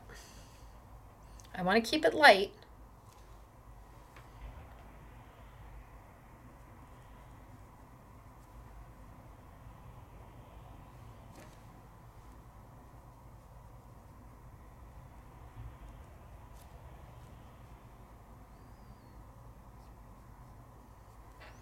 Well, that's pretty light. Let's do my other one.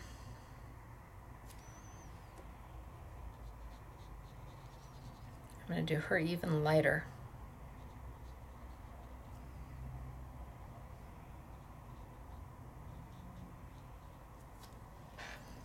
Okay, so I've got a base color down on both of them.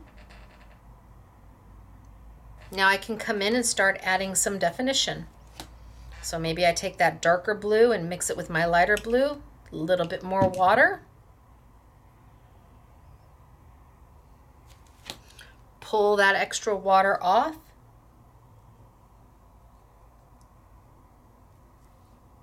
And go in and start adding that color.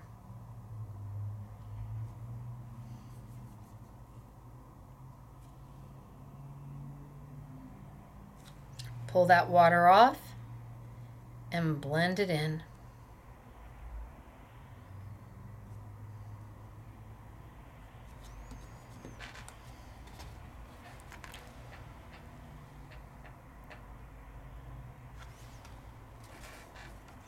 Go add a little bit of that darker blue back in and a little bit of that lighter blue. Blend them into each other and make a color.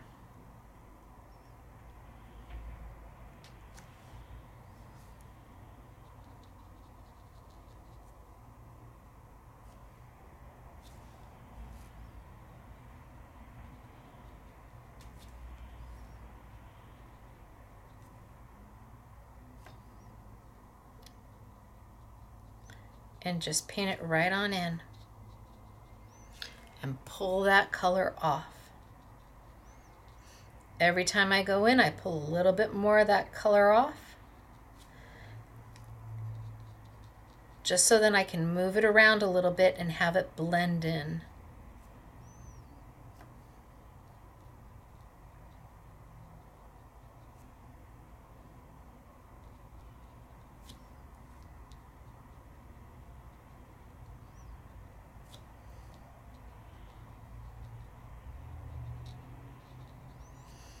I can really see the difference. And not that they're perfect or this is how you would shade and shadow them, but to be able to see the difference between a straight color, kind of a medium blend, versus a stark comparison, contrast and compare between the, the highlight and the shadow.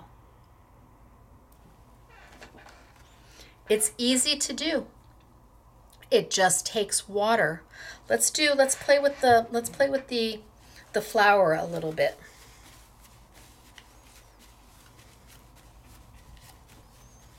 So what if I was going to take maybe a pretty,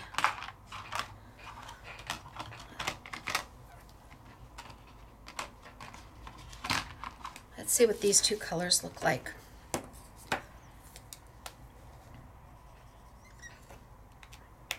Got a pink.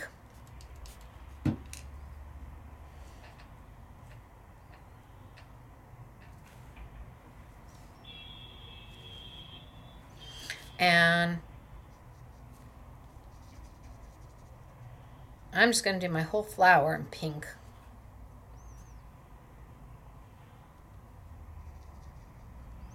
I can cross over the lines and my ink doesn't smear because it's a waterproof ink. If you have an India ink from Hero Arts, you're going to be fine with that.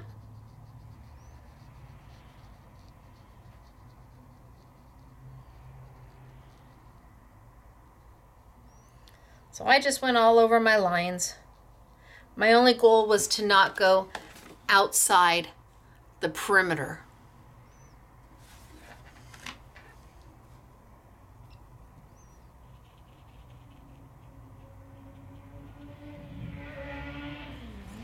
Maybe I do this one super light pink.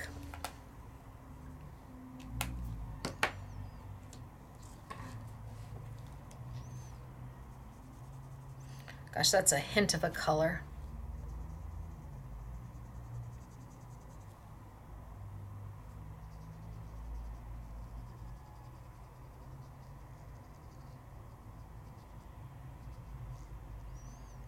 So just by adding more water, Look at the two different pinks that I made using the same marker. now let's come in maybe with my purple.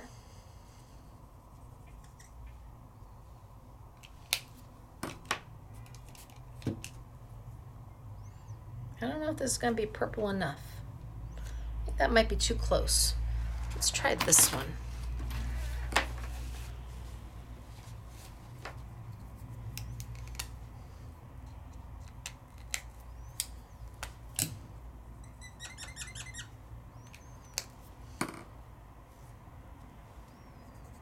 Oh.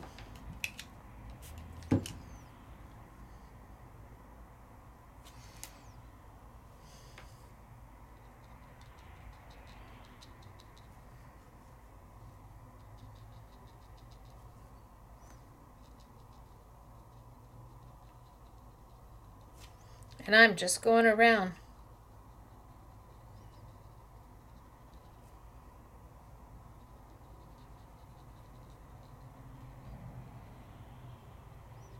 the inside of my flower.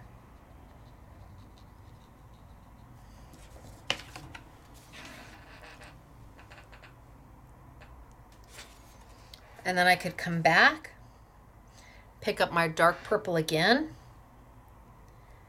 and this time stay really close to that center. Really close.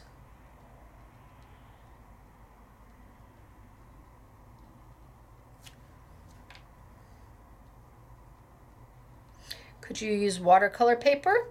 Of course you can.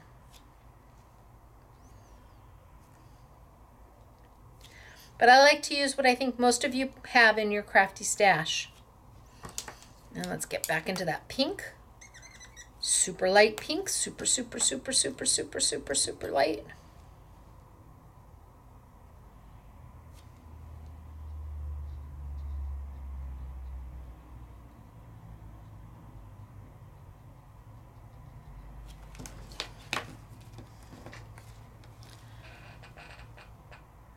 This is so easy to do. So easy to do. Now, what if I just used pink on this flower over here? Should I do that or should I use colors? Um, let's use a darker pink. So I'm just going to use the same color pink, only less, less water.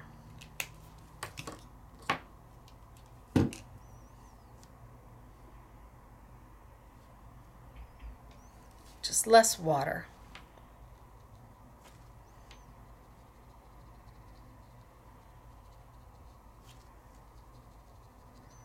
And as I pull off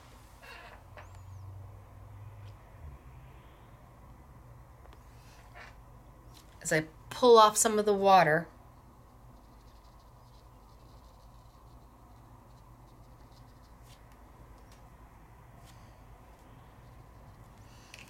a little more water.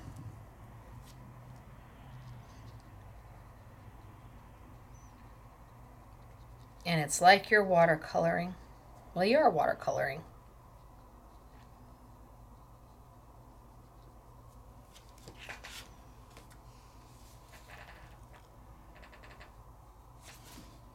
Do I dare try some yellow in that center?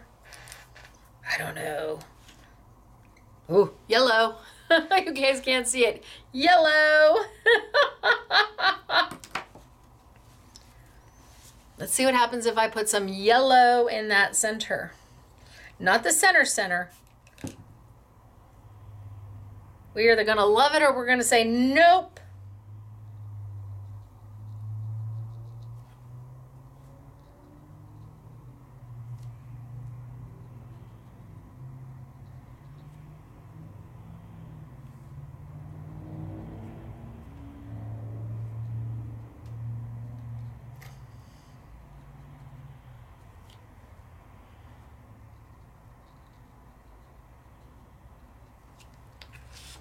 I put some yellow in the center.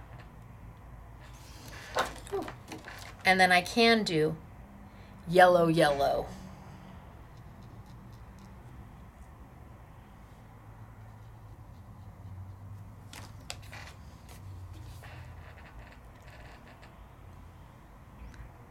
It's simple to do. It doesn't take any skill or any talent. You sit there and you stamp yourself a bunch of little just stamp a bunch of images and then go get your go get your TV tray, sit in front of the TV and play with zero expectation of anything. No expectation at all. Just give yourself the opportunity to get the feel of how this is done and how simple it can be. It makes you look like a rock star. It does. I think I might just put a little more pink.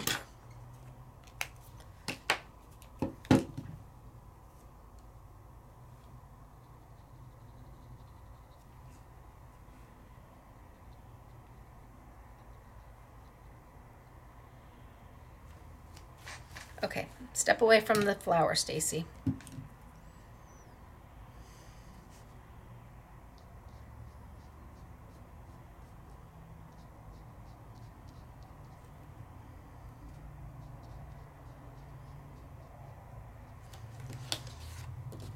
my stems.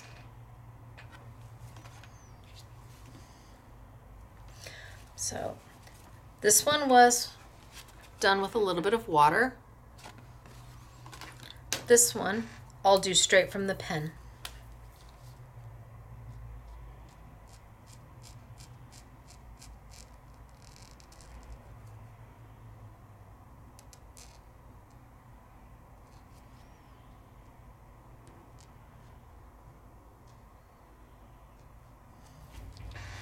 So you decide. Same color. This one was straight from the pen. It's a little bit darker. This one was done with water. It's a little bit lighter. You choose. I could go back in now that I've got water on there and I could add maybe just a little bit down here if I wanted. A little bit down here. Just to add a little maybe shadow if I wanted to. But they are easy to use. And then when you've got them all done and you love, love, love them, you die cut them. So let's bring over, oh, I made a mess. Let's bring over the dies. So I've got my little, my little girl gnome and let's just cut this girl, this one out.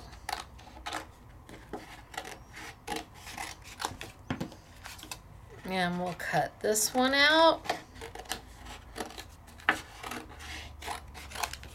Apparently I got my fingers in it. And we'll cut this one out. And then we'll do the we'll do the flowers. So let me go on back because I'm gonna need to bring my Sizzix Big Shot machine over.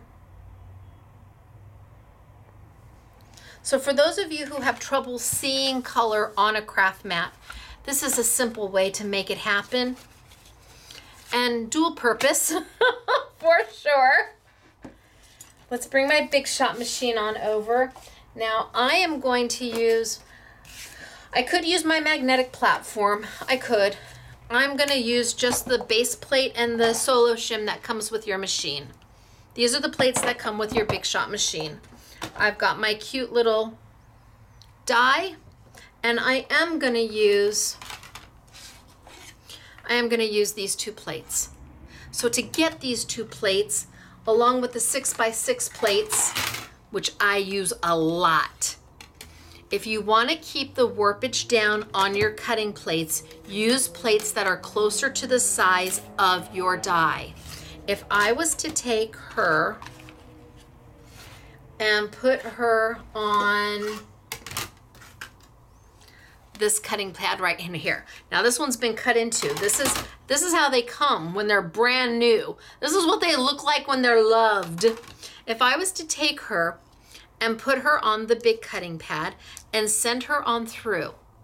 There's no structure here or structure here to keep the plates because I have to I have to sandwich them to keep the plates from warping. If there was metal, a bigger piece of metal, a bigger die, the the plates would have more structure and they would hold their shape better. But when you're talking about something so small and it's going underneath a roller and the roller's going to go zoop Say it together. Zoop.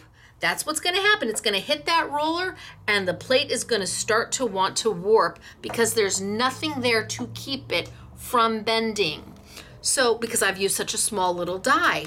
So, if you can use plates that are closer to the size of the dies that you're using, you will cut your warpage down by a lot. So, six by six plates, the six by six plates, again, you only get one in the package but I am using my 6x6 plates more than I use anything else because my warpage is almost nothing. My almost all of my dies fit a 6x6 plate. An A2 die, an A6 die, they all fit a 6x6 plate. If I'm doing a 5x7 die, well this is perfect because I need that space to keep this from warping. At the same token, if I'm doing a little tiny die, maybe I just want to use my little tiny plates. These have not been cut into. this is to be a first. And I'm not to go ahead. I'm not to worry about um, a magnetic platform on these.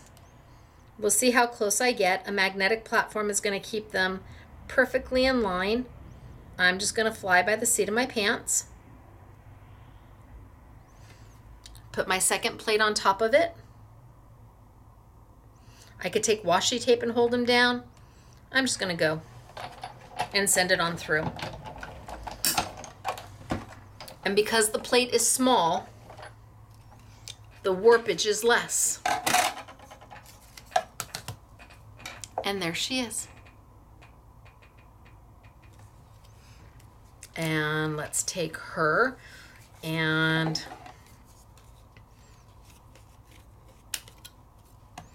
now you can see I've got a lovely, well, a lovely, can you see that? There's a lovely little imprint of her right there because now I've cut into the plate. So let's do it again. And my paper and my die and my top plate. I always want one that I try never to cut into.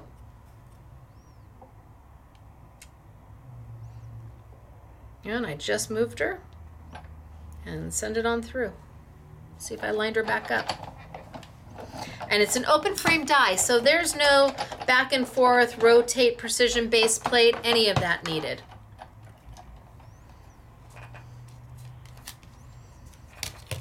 And there she is. Now, if you want to use a magnetic platform, it does not come with your machine. It is a separate purchase.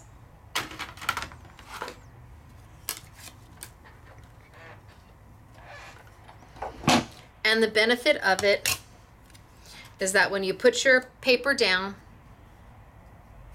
and you put your die down and you line her on up,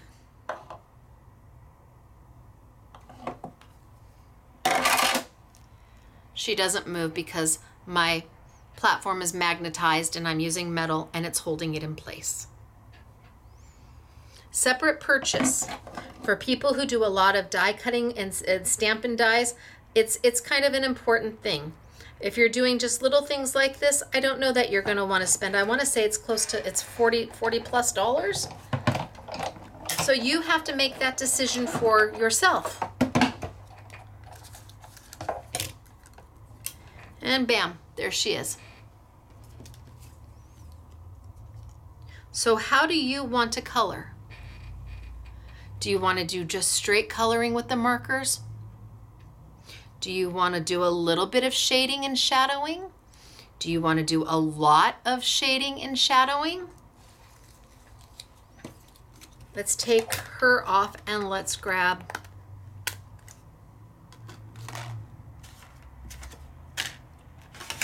let's grab my flowers. And let's cut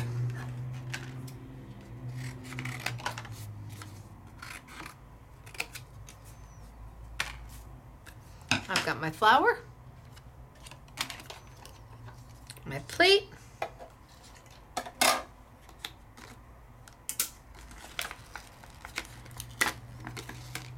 my die, line it up,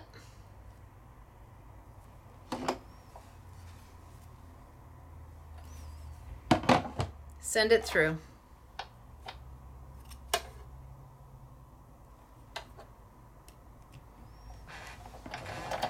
and I'm using the smallest plates. So will these dies go through a sidekick? Oh yeah, no problem. Look at how cute, right? They're just darling.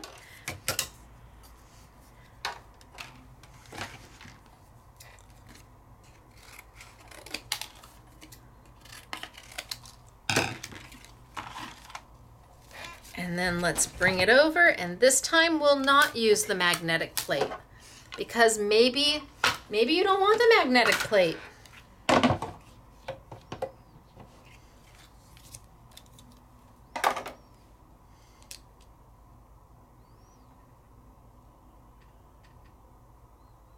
You could take a piece of washi tape and tape it down. Oh, I need my bottom plate. Lining it up without my bottom plate. You could take a piece of washi tape and tape it down. You could take a post-it note and hold it down. You definitely have options. Or you can just fly by the seat of your pants and hope it works.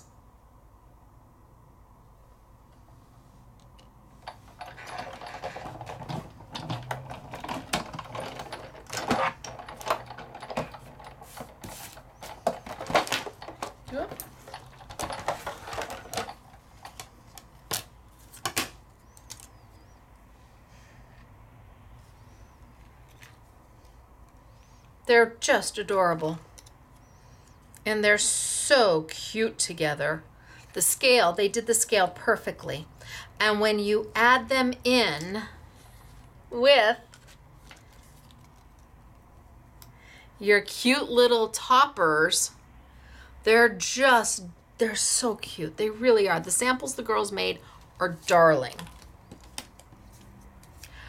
But what if you wanted to color on black paper? What if you wanted to do something on black paper? You're like, black paper, why would I want to do that? Well, I don't know, and you may decide you don't want to, but I'm going to show you anyway because you have options, and options are what crafting is about. And if you already have the product, you might as well know what you can do with it.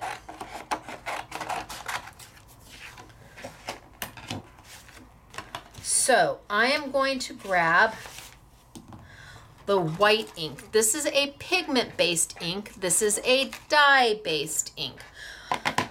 So this is very similar to a unicorn ink. It's again from Jacquard. They bought the they bought Color Box. They reformulated all the inks and have come out with their own. Uh, if you have a unicorn ink, you are fine. You do not need this. The benefit of this is the price point. You can pretty much get the re-inker and the pad for the same price as a Hero Arts Unicorn ink. And for me, that can be a game changer. When I can bring you something that works just as good for less money, I have to I have to look at it and say, does it do what it says it's gonna do? And and equally as well as the more expensive version. And this does. Love Hero Arts. I'm still using Hero Arts. We still sell Hero Arts, but this may find um, its way to more of you because of that price point. So this is definitely a pigment-based ink, which means it takes a little time to dry. Let's grab, let's grab Mr. Garden Gnome. I just, I had to have them. They were Mr. and Mrs. How could I not? He's got the little wheelbarrow and he's got the little birdie and he's as small as can be and just darling.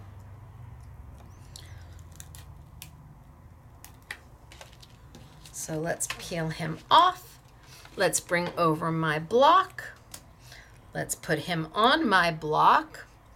Bring over my gush pad. Remember, I'm working to get a gush pad again, trying to get them remanufactured. Small companies, scrapbooking made simple is we're teeny, teeny, tiny. We have to compete for manufacturing space with all the big companies. so usually that means when the manufacturer doesn't have anything to manufacture for anybody else, they'll do ours. That's kind of what it means. I'm going to ink them up.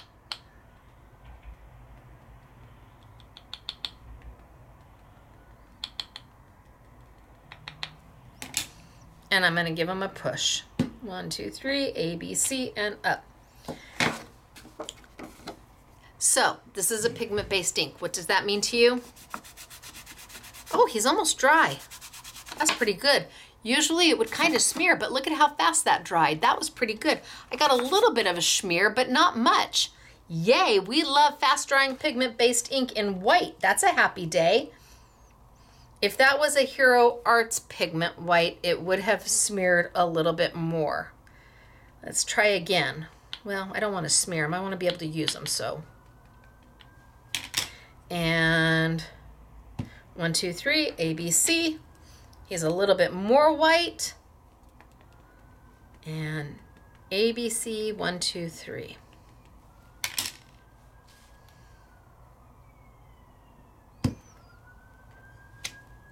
Okay.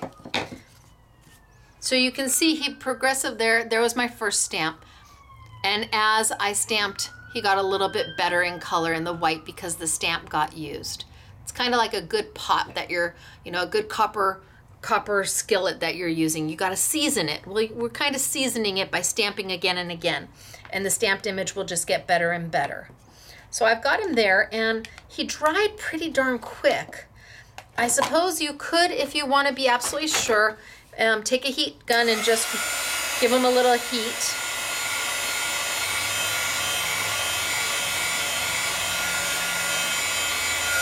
All right, we're gonna go for it. So now that I've got him on my black paper, what am I gonna do with him? Well, I wanna color him, but obviously I can't do it with my markers that I've been using. These are a dye-based ink, not a pigment-based ink, which means if I color on black, it absorbs right in. You don't see that green. The black is, is absorbing the color in because a dye-based marker, a dye-based ink, is meant to absorb into something non-porous. A pigment-based ink is meant to sit on top of something well, porous, yes, seep into something porous. A pigment-based ink is meant to sit on top of something, so things that are non-porous, you know, it, it will sit on top of and you can throw embossing powder and heat it, but it's meant to sit on top as opposed to absorb in. So your metallics tend to be pigment-based inks, your whites tend to be pigment-based inks because if the color were to absorb in, it would just fade away. It would absolutely just fade away. Let's get, um, here, here's my red. Just fades away. As it dries, it just goes into nothingness. I need a color on black or dark colors, dark red, dark purple, dark brown, dark gray, whatever you're doing, I need it to stand out. but I only have markers to color. How am I gonna go in and color this if all I have is markers to color? I've only got dye-based. Alcohol-based inks aren't gonna do you any better either. They're going to absorb right into this porous paper. You're gonna get the same look. You're gonna get this kind of a look with an alcohol-based marker. So what am I gonna do? Paint pens? Nah, it's hard to find paint pens and frankly the nibs are usually so big that they're not conducive to coloring. So let's see, what are my other options? Hmm, I have a reinker. Hello, reinker. How are you doing today? What if I took my reinker and maybe just a little bit of color, maybe a hint of color, maybe not. And I put just a little bit of a reinker down.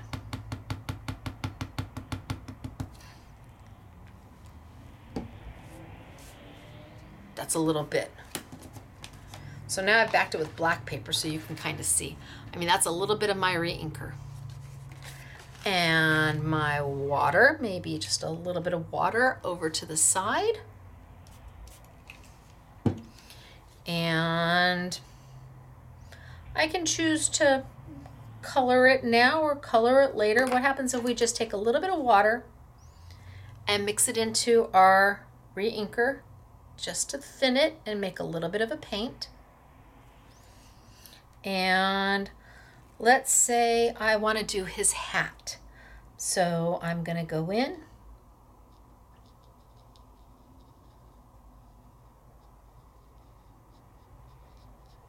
And I'm not trying to make it be perfect. I'm just trying to get some white in there.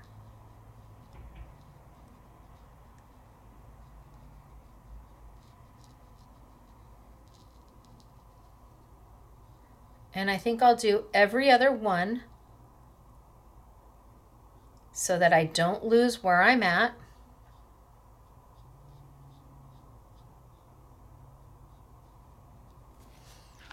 So there's the bottom of his hat. Now I don't want to do the one right next to it because then I'll lose the definition. I won't know where, where the lines start and stop. So I'll skip and I'll do the next one up and then I'll skip and I'll do the next one up. And I just added a little bit of water to my pigment-based re-inker and I used a little, little bit of water and a little bit of re-inker.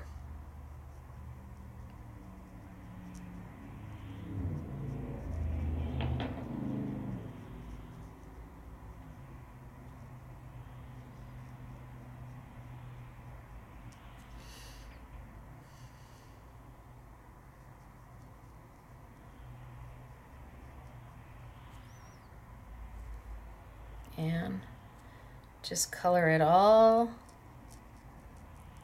in.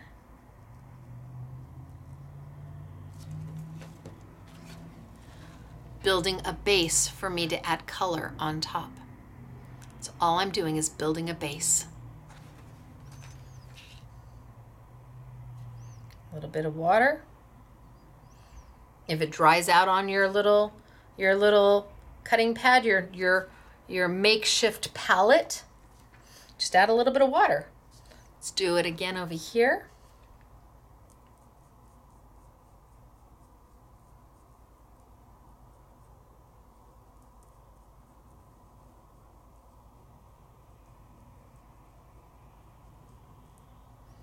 I'm just using a very fine paintbrush and all I'm trying to do is stay within the lines of the, uh, the perimeter of the stamp. So I'm not being overly careful, like trying to get the same tone of white all the way through. I'm just building a base.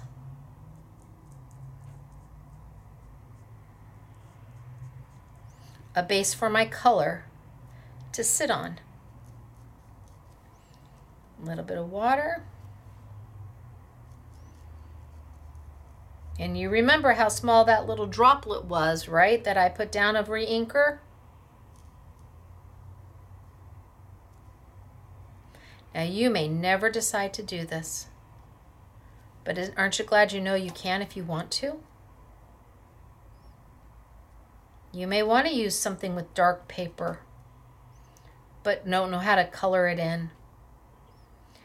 You can certainly use a Lumiere ink or a Finetec, a, a, a metallic watercolor, which will sit on top. Yeah, sure you can. But maybe you don't have those. Maybe what you have are the markers from Violet Studios where you get the 30 colors for, gosh, I think like $15.99 or something like that when we put them on sale. So I've got two of them done.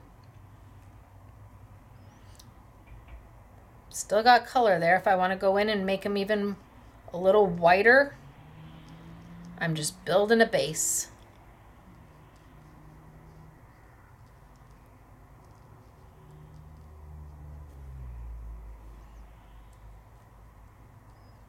And I don't care if the color is smooth or kind of blotchy. The idea is then I can go back with a color.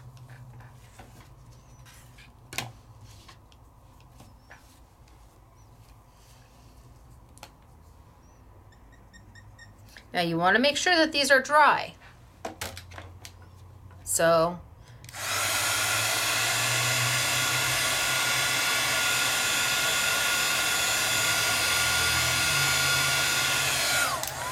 because I added a little bit of water to them. I want to make sure they're dry. That the deepest, darkest red I've got? Ooh, let's see what that red is.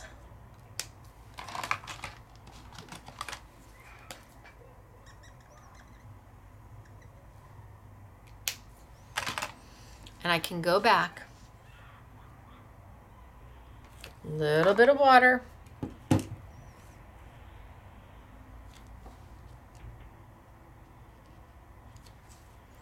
little bit of water.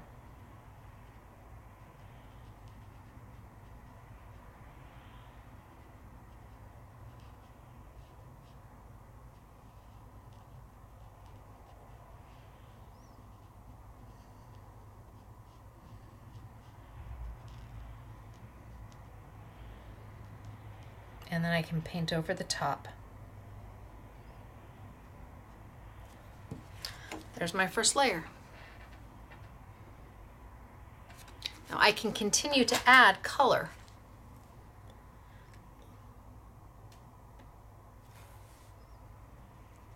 And darken it up.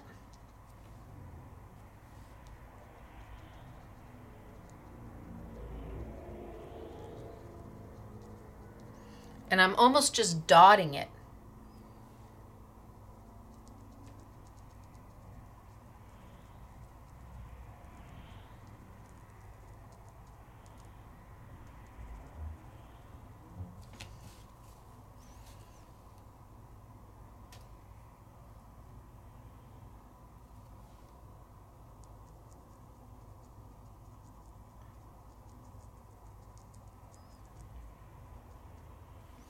And just layer my color over the top. And all of a sudden, you're coloring on black paper using markers that you already own.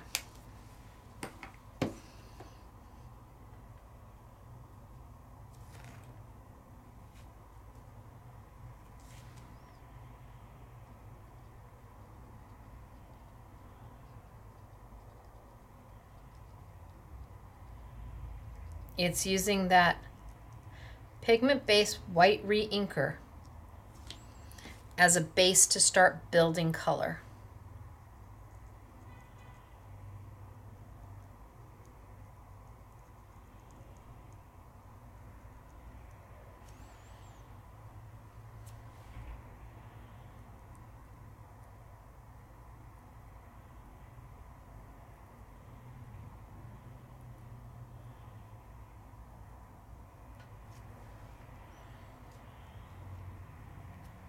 And again, you may never want to color on black paper. You may color on your black paper with a metallic watercolor ink. But what if all you have are your markers and a re-inker? And I am slowly going over the white lines with my with my ink. So when I'm all done, those white lines will be completely gone. So I've got a little color there. Now I need to go back.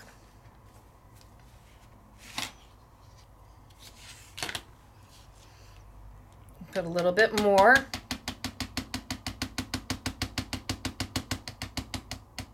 Okay, I think that's plenty. And when I say a little bit, I mean a little bit. Look at how much more I added. It's a tiny little bit. That's enough. A Little bit of water. A Little bit. And then just, oh, too much red. Oh, yeah, too much red. And we're gonna go for it anyway. And now I'm gonna come back in and paint my other lines.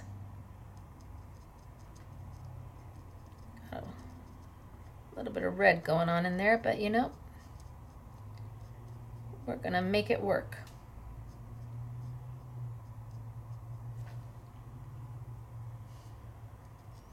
And fill in the rest of his hat, building that base of color. So what if you were doing butterflies on black? Or dragonflies? Or florals?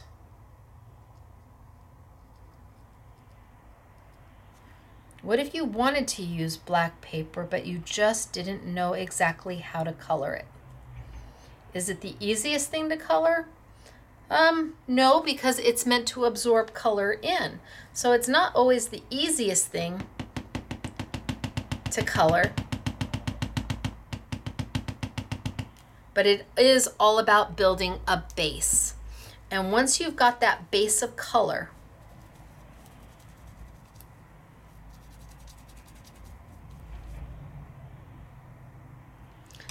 then you can color on top of it.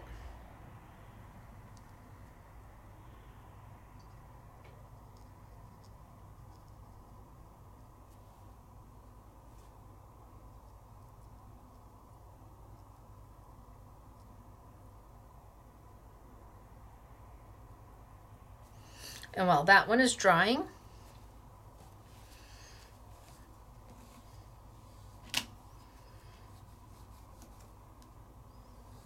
I can go back in. Let's dry that off.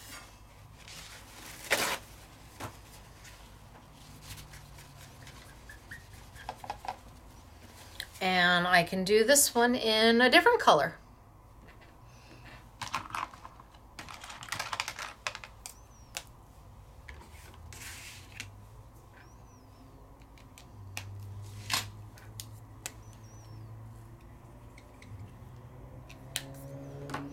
A little bit of water.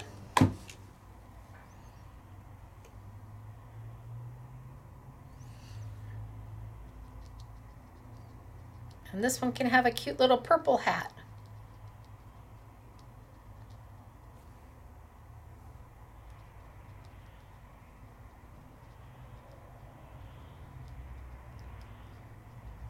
And I'm almost more dabbing than I am painting.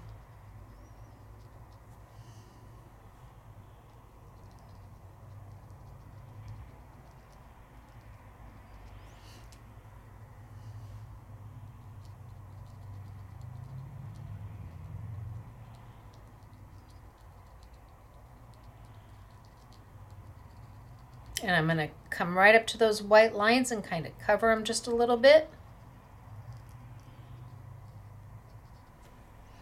Unless you want to see the white lines when you're done. Your call.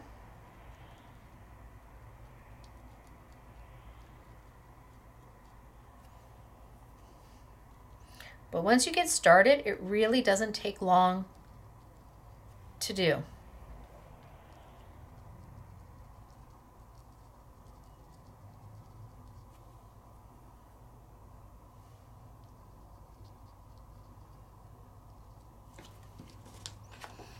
Now I've got one started in purples. And then a little bit of water. And pick up some of that color again.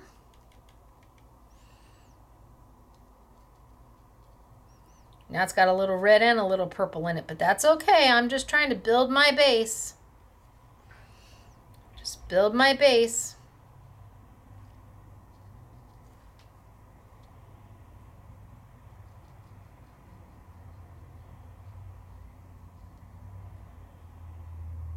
Make my stripes.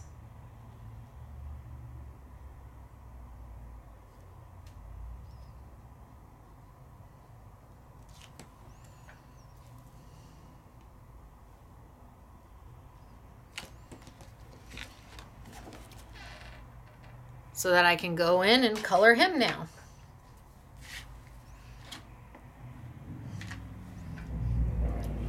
Wipe it off so that there's no water there. I don't want to have water here. When I do my brush, it'll start diluting it before I want it to. Um, let's try.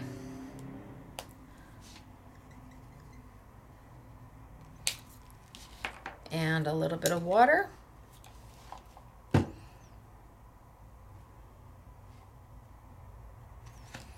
take most of that water off my brush.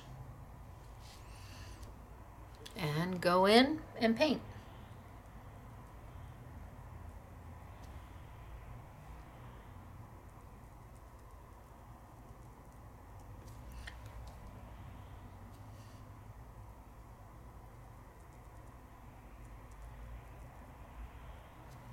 Can I go in and take my marker to it directly? Yeah,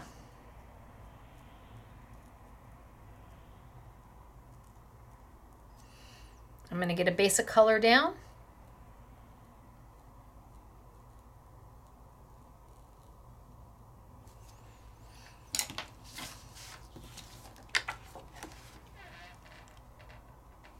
And then if I want, I can absolutely take my marker and go in directly. And because they've got such that fine tip,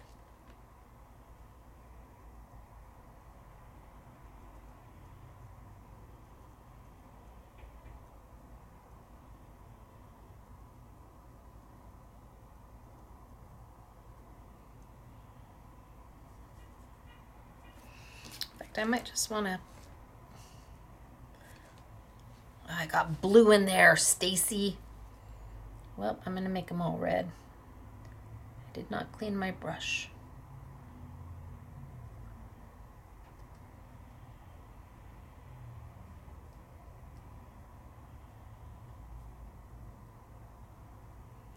And take my color straight to it and really darken it up. Is this a perfect world scenario for black paper? No, probably not. But is it a way to get a job done with limited amount of tools when you want to make a stunning something or other on black? Yeah, actually it is.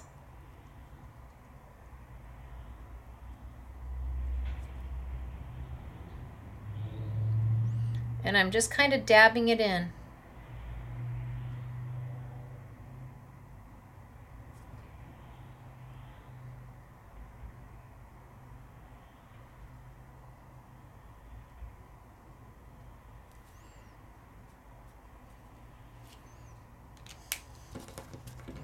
And making my color. What about his, what about his, um, let's clean this off and what about his little beard?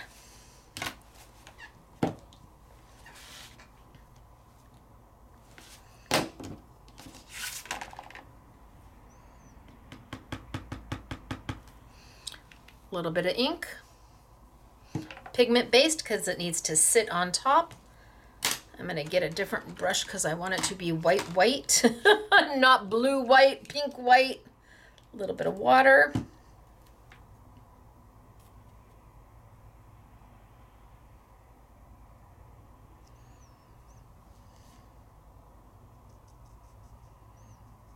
And I'm going to do his beard first.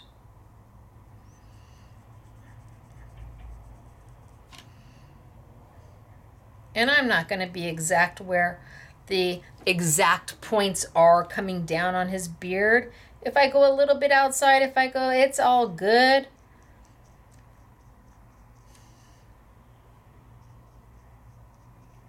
I'm not going to do his mustache yet. Just going to do his beard.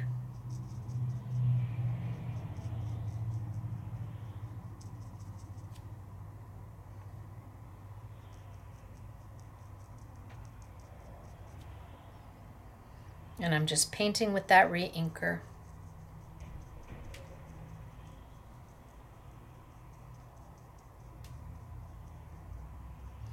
Leaving his mustache alone. Because I don't want to lose its placement.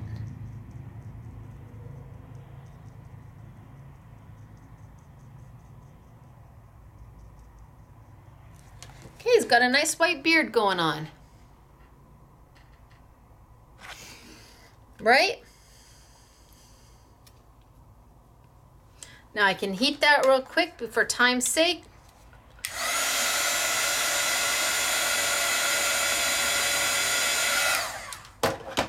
And then I can come back in and I'm going to leave a little bit of space in between his beard and his mustache.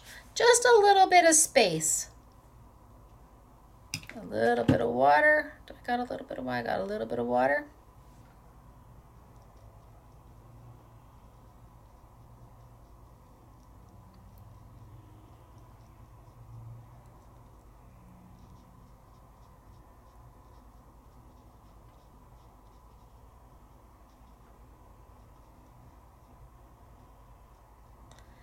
Just so I know where one stops and one starts. Of course, you can draw it in, which is ultimately what we're going to do.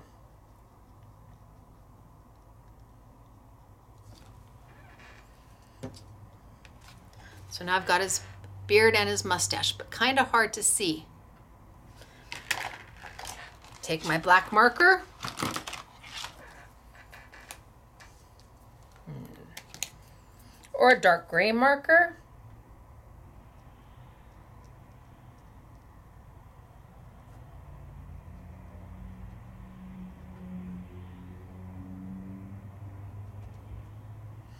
And just kind of go back in and drop back in. Poof! This is easy to do. Black marker goes a long way. You've got this. It's just about playing and about giving yourself the opportunity to use product you already own inexpensive. I mean, this is $4.99 and when we have it on sale, which will be now, is $3.99 and the markers will be like $15.99 and and we've done so much with them. this can be this can be a pricey hobby. It can, there's no question about it. It can be a pricey hobby, but it also can be a hobby where even on a limited budget, you get the opportunity to create. You get the opportunity to play.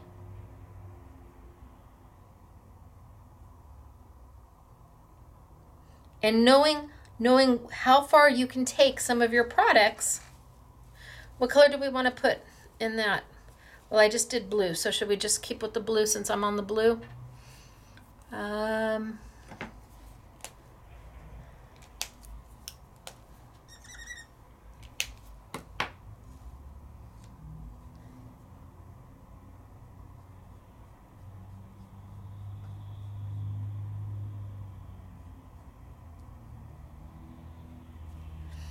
Everybody should have the opportunity to play and create.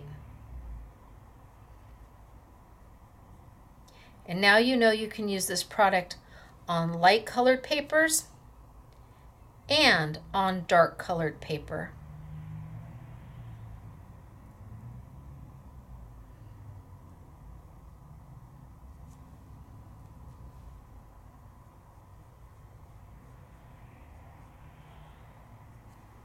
Think about all the stamps you have that now maybe would look totally different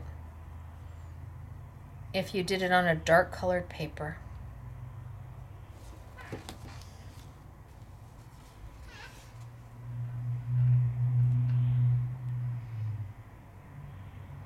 All right, you guys, I can't finish him because it's getting late. But I did want you to see what can be done. Whether you're going on white paper and you're literally coloring straight from the color, or you decide to blend a little bit on white paper and on black paper. You need that white ink to build that base on black paper. And on white paper, you need an ink that isn't going to smear. And if you're just starting out and you're just playing, the the Violet Studios markers are more than enough. It's 30 colors. It's more than enough to get you started. They're a great marker. They're inexpensive. Inexpensive just means that. Inexpensive. The quality is great.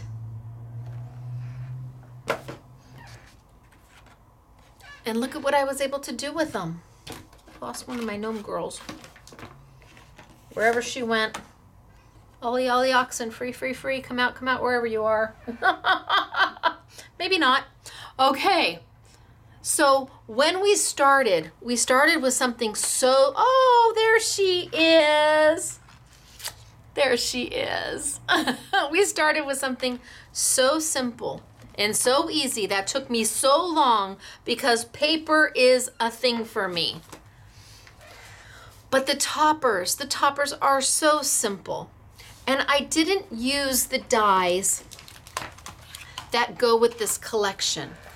There are additional dies that go with the gnomes. And you will see them in the samples. This is beautiful. You will see them in the samples. There is also Hunkydory paper that we used in the samples. My collection of Hunkydory paper is extremely limited. I have five different packs for you. I didn't use them in the YouTube at all because some of them we have literally less than 30 of. This is a butterfly and floral. They're pre-die cut. They come in amazing colors. The butterflies, the flowers, literally we have maybe 30 of these. And all you have to do is punch them out and put them down, layer them, color them with an alcohol ink marker, and you're good to go. I have the, the Swiss Dotty paper. Again, Hunkydory, you can see the dots on it. Beautiful colors. Again, maybe I have 30 packs of it maybe. Not because I want to, I can only buy what they have. Then we have the beautiful, beautiful, beautiful. This is beautiful. I have more of this. This is the butterfly paper. This is stunning. I mean, it's gorgeous. And this is all Hunkydory.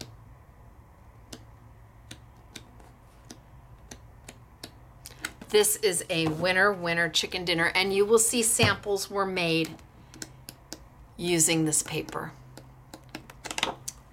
Then we have, uh, what are they calling this?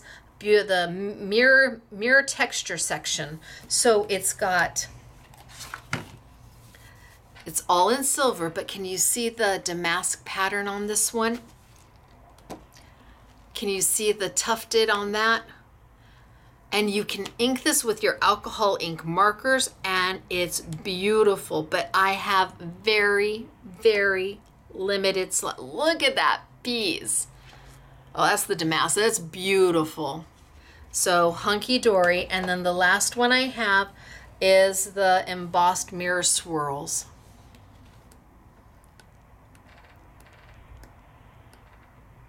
This is only online, not available in the store. I don't have enough and I want it to be fair for everybody. So if you're an in-store peep, by all means, order it online and do a pickup in the retail store, but it is very, very limited. Okay, so we did a lot today. We played with the toppers.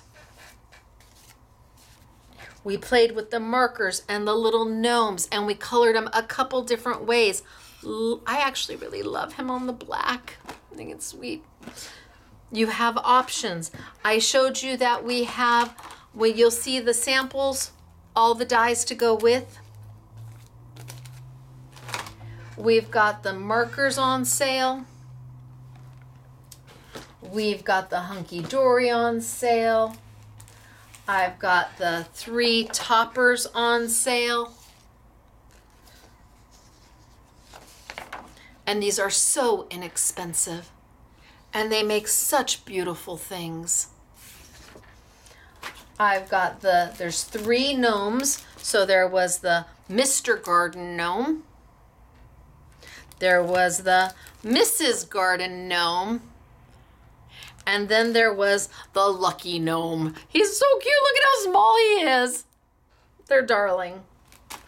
I have got the, we'll go ahead and we'll do the, I think these are always, I think these are in the set already in the, on the YouTube Yummies if you want the, the combination set of cutting pads where you get the three different sizes. I recommend getting two of them. That way you have matching. I've got the Sizzix paper that I used today. Holy smokes, I got a lot. All right, I think, and, and of course the inks from Jacquard.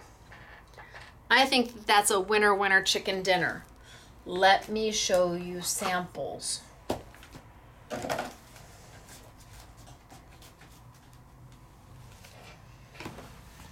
Wow, I made a mess. but I had fun. so here, this is this die right here. And this is this die right here, cut out of white and then colored with the markers. There is an I Want It All where we have all the dies and we have the, the gnomes. The I Want It All doesn't include the little topper sheets because, well, it doesn't.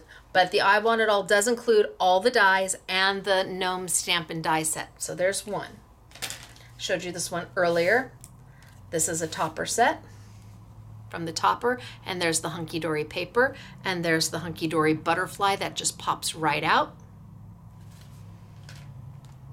And here you've got the topper cut out. You've got the grass die right here in front. You've got Mr. Garden Gnome and his wheelbarrow put right inside. They're meant to work together if you want them to. Here, I've got the beautiful topper with the Hunkydory paper. Uh huh, it's fabulous. It really is fabulous. Honorary SMS girl Patty did a beautiful job on these. Here, look at this. I've got the frame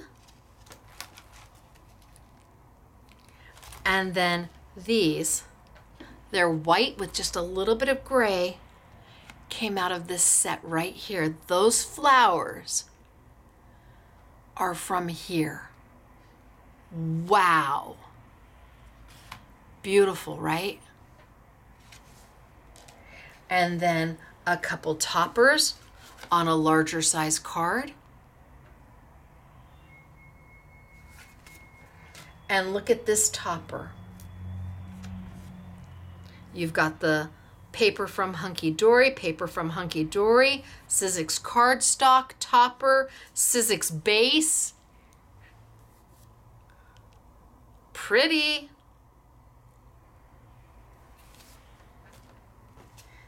Here we've got the gnome topper, kept it very simple. And if if um, St. Patty's Day is over, which it will be, a couple little flowers there. and then look at her. Oh, so you've got the grass, you've got the topper. Here's the flower that I did. Here's Mrs. Garden Gnome.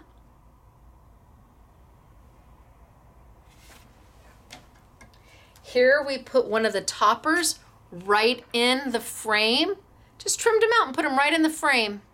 Easy peasy done.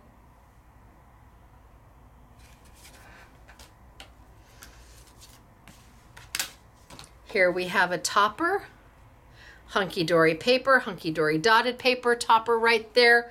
You've got the fla- uh, the butterfly.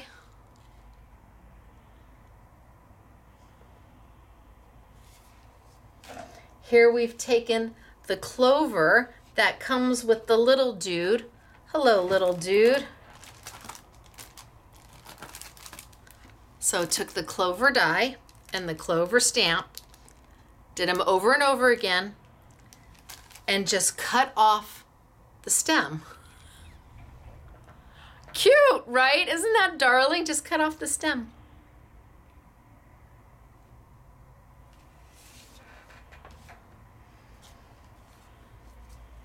So pretty.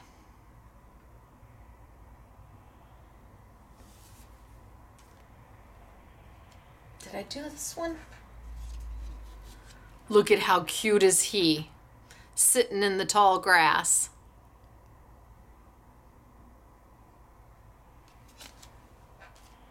And look at how elegant is this one. All done with the Hunkydory paper, the Hunkydory butterflies, the Marianne toppers.